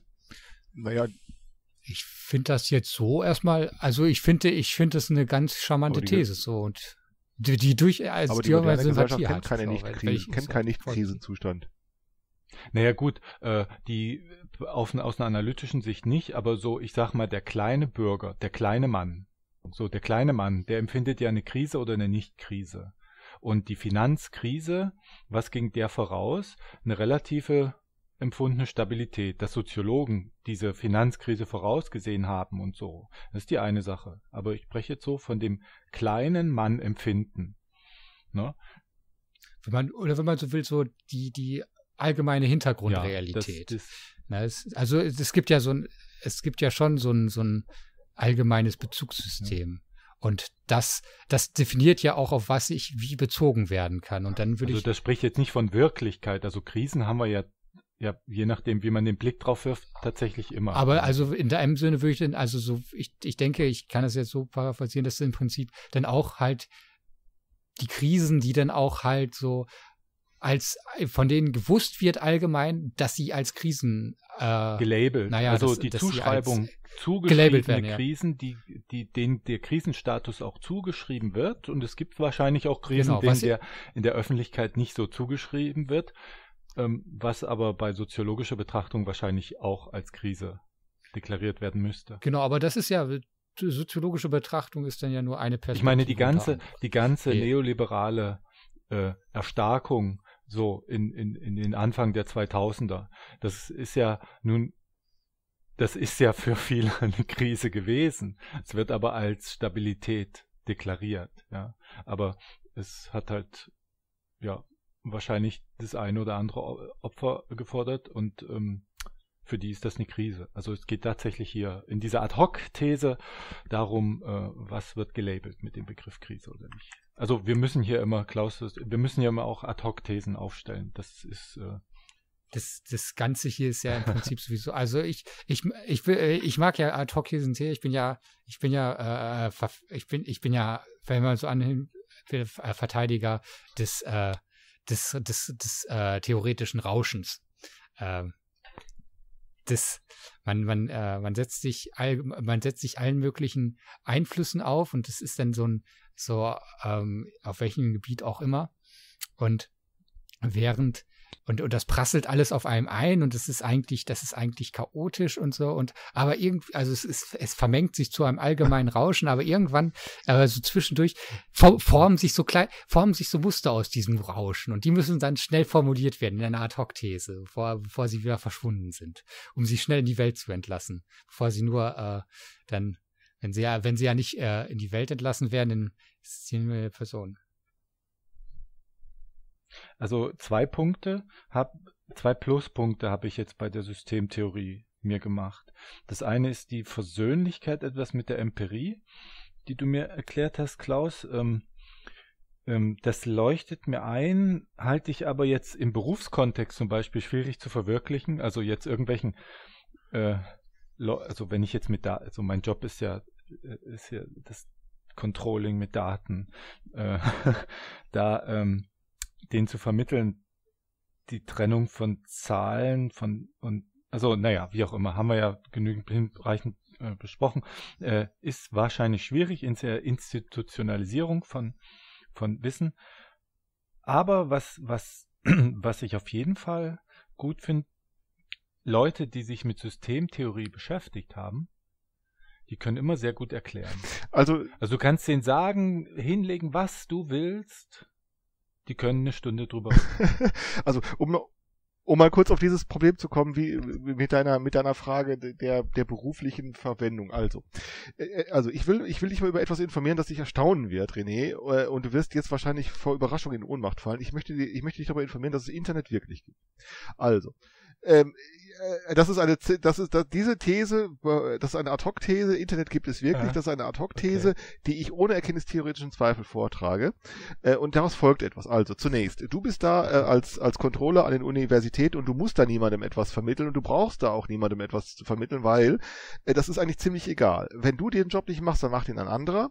Und ob du ihn so oder so machst, würde ein anderer diesen Job machen, dann würde ein anderer ihn nicht viel anders machen. Also vielleicht etwas anders, weil jeder Mensch ist natürlich der, von der mhm. individuell her natürlich schon ein anderer, aber so viel anders auch nicht, weil die Organisation, in dem Fall die Universität, genaue Vorgaben ähm, darüber äh, formuliert, wie es zu gehen hat. Äh, und da kannst du machen, was du willst. Äh, das änderst, das änderst du sowieso nicht. Da kannst du, äh, da kannst du Kritik üben, so viel wie du willst. Du kannst es genauso gut lassen. So, also insofern würde ich ein altes Jesuswort äh, dir empfehlen aus der Bibel. Da geht ja gefragt, ob man am äh, Sabbat mit Jesus, ob man am Sabbat irgendwie Menschen helfen darf oder so, weil das ja am Sabbat irgendwie verboten ist, sich zu bewegen. Hm. Und äh, da sagt Jesus irgendwie, gib Gott, was Gottes ist, äh, und, und gib dem Kaiser, was des Kaisers ist. Also damit ist, also soll man am, ach, es ging um ähm, Steuern, irgendwas. Um die Steuern ging es, um die Münze. Ja, und dann sagte er eben die diese Münze da und sagte, hat, die Münze hat zwei Seiten. Auf der einen Seite ist der Gott und der andere Seite ist äh, äh, der Kaiser abgebildet und er sagt, gib Gott, äh, gib dem Kaiser, was des Kaisers ist. Also der, der Kaiser halt,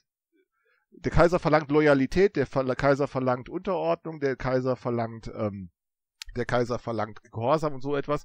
Und dann sagt der liebe Jesus, ja, gib ihm das, aber das ist ja nicht die ganze Sache, das ist nicht die ganze Wirklichkeit, die du hast. Es gibt eben noch auch einen Gott und so. Und äh, wir haben natürlich keinen Gott, aber wir haben Internet. So, äh, und äh, wenn, äh, also du musst da niemanden von irgendetwas überzeugen, das bringt auch nichts, sondern tu einfach, was man dir sagt äh, und fertig. Und aber, und das ist eben so der Punkt, äh, diese Universitäts-, diese Organisationssysteme, in dem Fall ist es Universität, aber es ist, würde sich, es wäre auch nicht viel anders, wenn du in einem Konzern arbeiten würdest oder würdest du in einem Verband arbeiten oder in irgendeinem Verein, das ist nicht viel anders. Äh, da, da, da, da gibt es nicht viel Dinge, wo du glauben könntest, du könntest dann was in Bewegung setzen. Das ist alles abgefahren, äh, alles abgefeiert und da ist alles, das sind abgebrannte Tempel. Ähm, äh, äh, und, und was da passiert ist, in diesen abgebrannten Tempel, da wird die Asche verwaltet. Ähm, und ähm, äh, das kannst du, das ist genau das, was du tust. Äh, dein täglicher Job ist Verwaltung von Asche. Äh, aber, und das ist ja jetzt der entscheidende Punkt, lass uns doch mal äh, aufhören, über soziologische Literatur zu sprechen. Ähm, lass uns mal anfangen, über Gesellschaft zu reden. Ähm, äh, ich hatte vorhin gesagt, also, äh, ähm, also es kann sein, dass in dem Augenblick, wo es in der Gesellschaft möglich wird, die Gesellschaft zu erklären, ähm, dass jetzt auf einmal tatsächlich Gesellschaft sich ändert, aber dann müsste äh, sozusagen es irgendeinen Indikator für diese Art von Veränderung geben. Sprich, es müsste eine andere Art von Kommunikation möglich sein. Ähm, denn äh, wenn das nicht der Fall ist, dann ähm, äh, äh, klar, dann äh, äh, dann, dann äh, hätte auch die Systemtheorie nicht zustande kommen können. Tatsächlich haben wir eine andere Art von Kommunikation möglich und das ist tatsächlich Internet. Äh, und ich glaube nun, ähm, da ist sozusagen, äh, da ist das, da ist ein Forschungsfeld. Da ist, da ist viel zu gewinnen. Äh, da ist viel zu, zu probieren, weil nämlich da, und da würde ich sagen, René, da ist der interessante Fall für dich. Also, wo du, wo, da gibt's was zu erforschen. Da gibt's Dinge zu entdecken, die, die nicht bekannt sind. Da gibt's, da gibt's keine Routinen, da gibt's keine Verlässlichkeiten, da, da gibt's keine eindeutig festgelegten Erwartungszusammenhänge ähm, sondern da kannst du tatsächlich, ähm, ähm, da, da, da, sind die, die, die, da sind die Strukturen, um die es geht, gerade was, ob das nun Facebook ist oder ob das Twitter ist, also diese ganze Sache, da fängt das an interessant zu werden. Ähm, und, und, und da, äh, also sozusagen das, der, der, der Unwissenschaft, der nichtwissenschaftliche, der, der nichtwissenschaftliche, die nichtwissenschaftliche Befassung mit Gesellschaft, die finde ich, die ist, die ist viel ertragreicher ähm, mhm. für eine, für, für das, was du eine Unterscheidung zwischen Theorie und Empirie nennen möchtest, äh, die eine Unterscheidung, die ich nicht vornehmen wo, äh, wollte, aber egal. Äh, da ist was zu finden, da ist was zu holen, da ist was zu machen, weil da, da gibt es, da ist sozusagen Wüste, da ist oder nicht Wüste, da ist Wildnis. Und in dieser Wildnis, äh, also ich sag, ich nenne das mal Internet, das ist eine soziale Wildnis äh, da äh, äh, werden die Forscher gebraucht und nicht etwa äh, in den Archiven und in den Bibliotheken und in den Bürostuben, da, was du da machst. Das ist halt, naja Gott, damit verdienst du dein Geld. Das ist das, was du dem Kaiser geben musst. Aber die intelligenten Dinge, die findest du woanders. Also das Geld nicht verdienen dort, wo es Sinn macht. Äh, das Geld da verdienen, wo du es kriegst. Also das ist klar. Also, ähm, aber das ist ziemlich, also ehrlich gesagt, also wenn das nicht gerade, wenn das nicht gerade bei der Mafia ist oder so, dann ist es eigentlich ziemlich egal, wo du dein Geld verdienst. Entscheidend ist was anderes. Entscheidend ist, ähm, entscheidend ist, ähm, ähm, welches Problem hast du eigentlich mit Gesellschaft? Und diese Probleme mit Gesellschaft können in der Organisation, in dem Fall in der, in der, in der Universität, insbesondere auch in der Soziologie, eigentlich gar nicht mehr besprochen werden.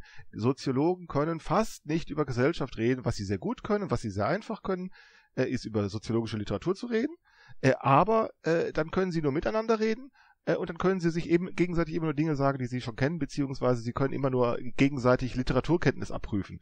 Und das ist ziemlich, ziemlich, ziemlich, äh, nicht nur ziemlich langweilig, äh, sondern das ist auch ziemlich dumm. Und das bringt auch nichts. Ähm, die Gesellschaft besteht nicht aus Texten und die Gesellschaft besteht auch nicht aus soziologischer Literatur. Die Gesellschaft besteht aus Kommunikationen.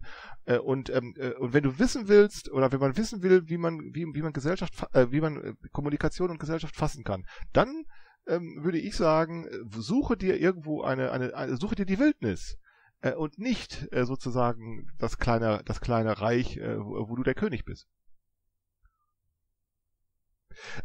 So, äh, und das kannst du das, denn, denn übrigens, und das ist ja der Fall, du machst es ja schon, äh, du lässt dich ja in Kommunikation verwickeln, darüber hatten wir ja gesprochen vorige Tage, du betreibst ja dieses Pod Podcasting, du betreibst Twitter, du, du hast ja keine Einwände dagegen, dich auf diese Weise äh, beobachten zu lassen, äh, dich daran zu beteiligen, und da würde ich sagen, indem du dich auf diese Weise da beobachten lässt, äh, da kannst du vielleicht was lernen. Äh, und zwar vor allen Dingen Dinge lernen, die noch nicht gelernt wurden, denn da fängt die Wissenschaft ja immer an interessant zu werden. Lerne Dinge, wo es, für die es keinen Lehrer gibt. Da fängt die Wissenschaft an. Dahan, wenn du das machst, als jetzt nicht als Fertigstudierter, sondern noch als Schüler oder so, kannst du aber darüber nicht abgefragt werden und das passt nicht zu unserem Benotungssystem. Dann bist du nicht mehr kompatibel mit dem Schulsystem. Weil es muss ja auch irgendwie Du musst doch da mit überhaupt niemand reden drüber. Also das ist doch der entscheidende Punkt. Du wählst ein Pseudonym, ja, okay. du, du kannst, du, du wählst ein Pseudonym. Du musst doch, du musst doch, du bist doch nicht, du bist doch nicht ein Sklave irgendwo in einem Gefängnis, sondern du gehst dahin, du mach, betreibst dieses schwachsinnige Controlling. Das ist, das ist dummes Zeug eigentlich. Äh, aber egal, äh, irgendwovon musst du leben. Ähm, äh, das ist nicht wirklich intelligent, sondern das ist eigentlich eher dumm. Die Intelligenz ist da, wo, wo Risiken sind. Die Intelligenz ist da, wo es was, wo, wo, wo Unklarheiten sind, die, wo es Schwierigkeiten gibt. Die Bürokrat, die Bürokratie als, als Hindernislauf, die selber ist nicht wirklich, das, die Bürokratie als Hindernislauf ist nicht wirklich ein intelligentes äh, äh, ein intelligentes Verfahren zur Stimulierung von Intelligenz. Sondern ich würde sagen, der Hindernislauf, wähle, wähle dir ein Hindernis und dann würde ich sagen, wähle diese soziale Wildnis, wo, wo, wo, wo so viel Quatsch äh, abläuft, dass du es eigentlich kaum noch fassen kannst. Äh, und da Morgen kriege ich einen Anruf vom Chef. Herr Lehnert, ich habe, wir haben Ihren Podcast gehört. Wollen Sie denn hier weiter beschäftigt bleiben? Und dann sage ich, ich gehe in die Wildnis. Du musst doch mit deinem Chef gar nicht darüber reden, verflucht nochmal. Aber der hört den Podcast eventuell. Aber du kannst aber anschließend kannst du dafür sorgen, dass er äh, nicht mitbekommt, dass du, indem du dir ein Pseudonym zulegst und einfach ähm, deinem Chef dein Pseudonym nicht nennst, und dann weiß der nicht, mit wem was zu tun hat. Sicher, in deinem Fall, du, du kannst dann natürlich nicht auf Stimme, weil du hast natürlich eine tolle Stimme, die ist natürlich sehr deutlich äh, zu erkennen. Aber noch einmal, dein Chef verhindert, dein Chef hindert dich nicht daran, dich mit interessanten und relevanten Fragen zu befassen. Er hindert dich nur innerhalb der Universität daran. Aber nur dort kann er dich daran hindern. Aber nicht in jeder Hinsicht. Ja, aber aber das ist ja auch, das ist ja auch was äh, eine Sache. Bürokratien sind ja ja, Bürokratien sind ja allgemein, das zeichnet sie ja in gewisser Weise aus, relativ irritationssicher. Sie sind sehr, sie sind sehr stabil. Ähm, und äh, was, was wahrscheinlich auch denn, denn irgendwie so diesen, diesen Fatalismus äh, äh, Nahrung gibt, naja, Aber Moment, halt das ist immer umgehen. als Kritik wird das geäußert und das ist unfair der Struktur gegenüber und der Institution. Die wurden ja Nein, geschaffen, um sich gegen die Willkür äh, zu behaupten und dann zu sagen, äh, ja, die, die, sind stabil. Ja, ja, Das wäre ja auch Quatsch. Nee, nee, Dafür sind sie ja da. Ich wollte jetzt auch keine, ich wollte jetzt auch nicht werten. Ich habe ja, ich habe ja nur, ich habe ja nur äh, eine Beobachtung getätigt. Ähm, aber ähm, die die Auto, um die um bei Autorität äh, zu bleiben, äh, möchte ich jetzt nicht auf die Autorität von Bürokratien rekurrieren, sondern auf äh, meine formale Autorität, die mir äh, zu Beginn zugewiesen wurde, indem ich äh, als Moderator irgendwie genannt wurde. Und äh, ganz frech werde ich jetzt, werde ich jetzt die Macht dieses Wortes ausnutzen. Ähm, nachdem nachdem man muss ja irgendwie, man muss ja irgendwie äh, äh, sagen, also wir hatten ja viel darüber geredet, über die Kontingenz, um die Verunsicherung und so weiter. Und um den, das Ganze jetzt äh, noch ein wenig weiterzubleiben, diese ganze, äh, dieses, dieses, dieses ganze ähm, Beschreibung auch deiner, sag ich mal, deiner, deiner, der Verhältnisse, in denen du dich befindest, die jetzt gerade passiert sind, das, das kann man ja auch anders sehen. Das ist ja aus, das ist ja, das ist ja die Beschreibung dessen, wie es aus einer systemtheoretischen äh, Sicht wäre.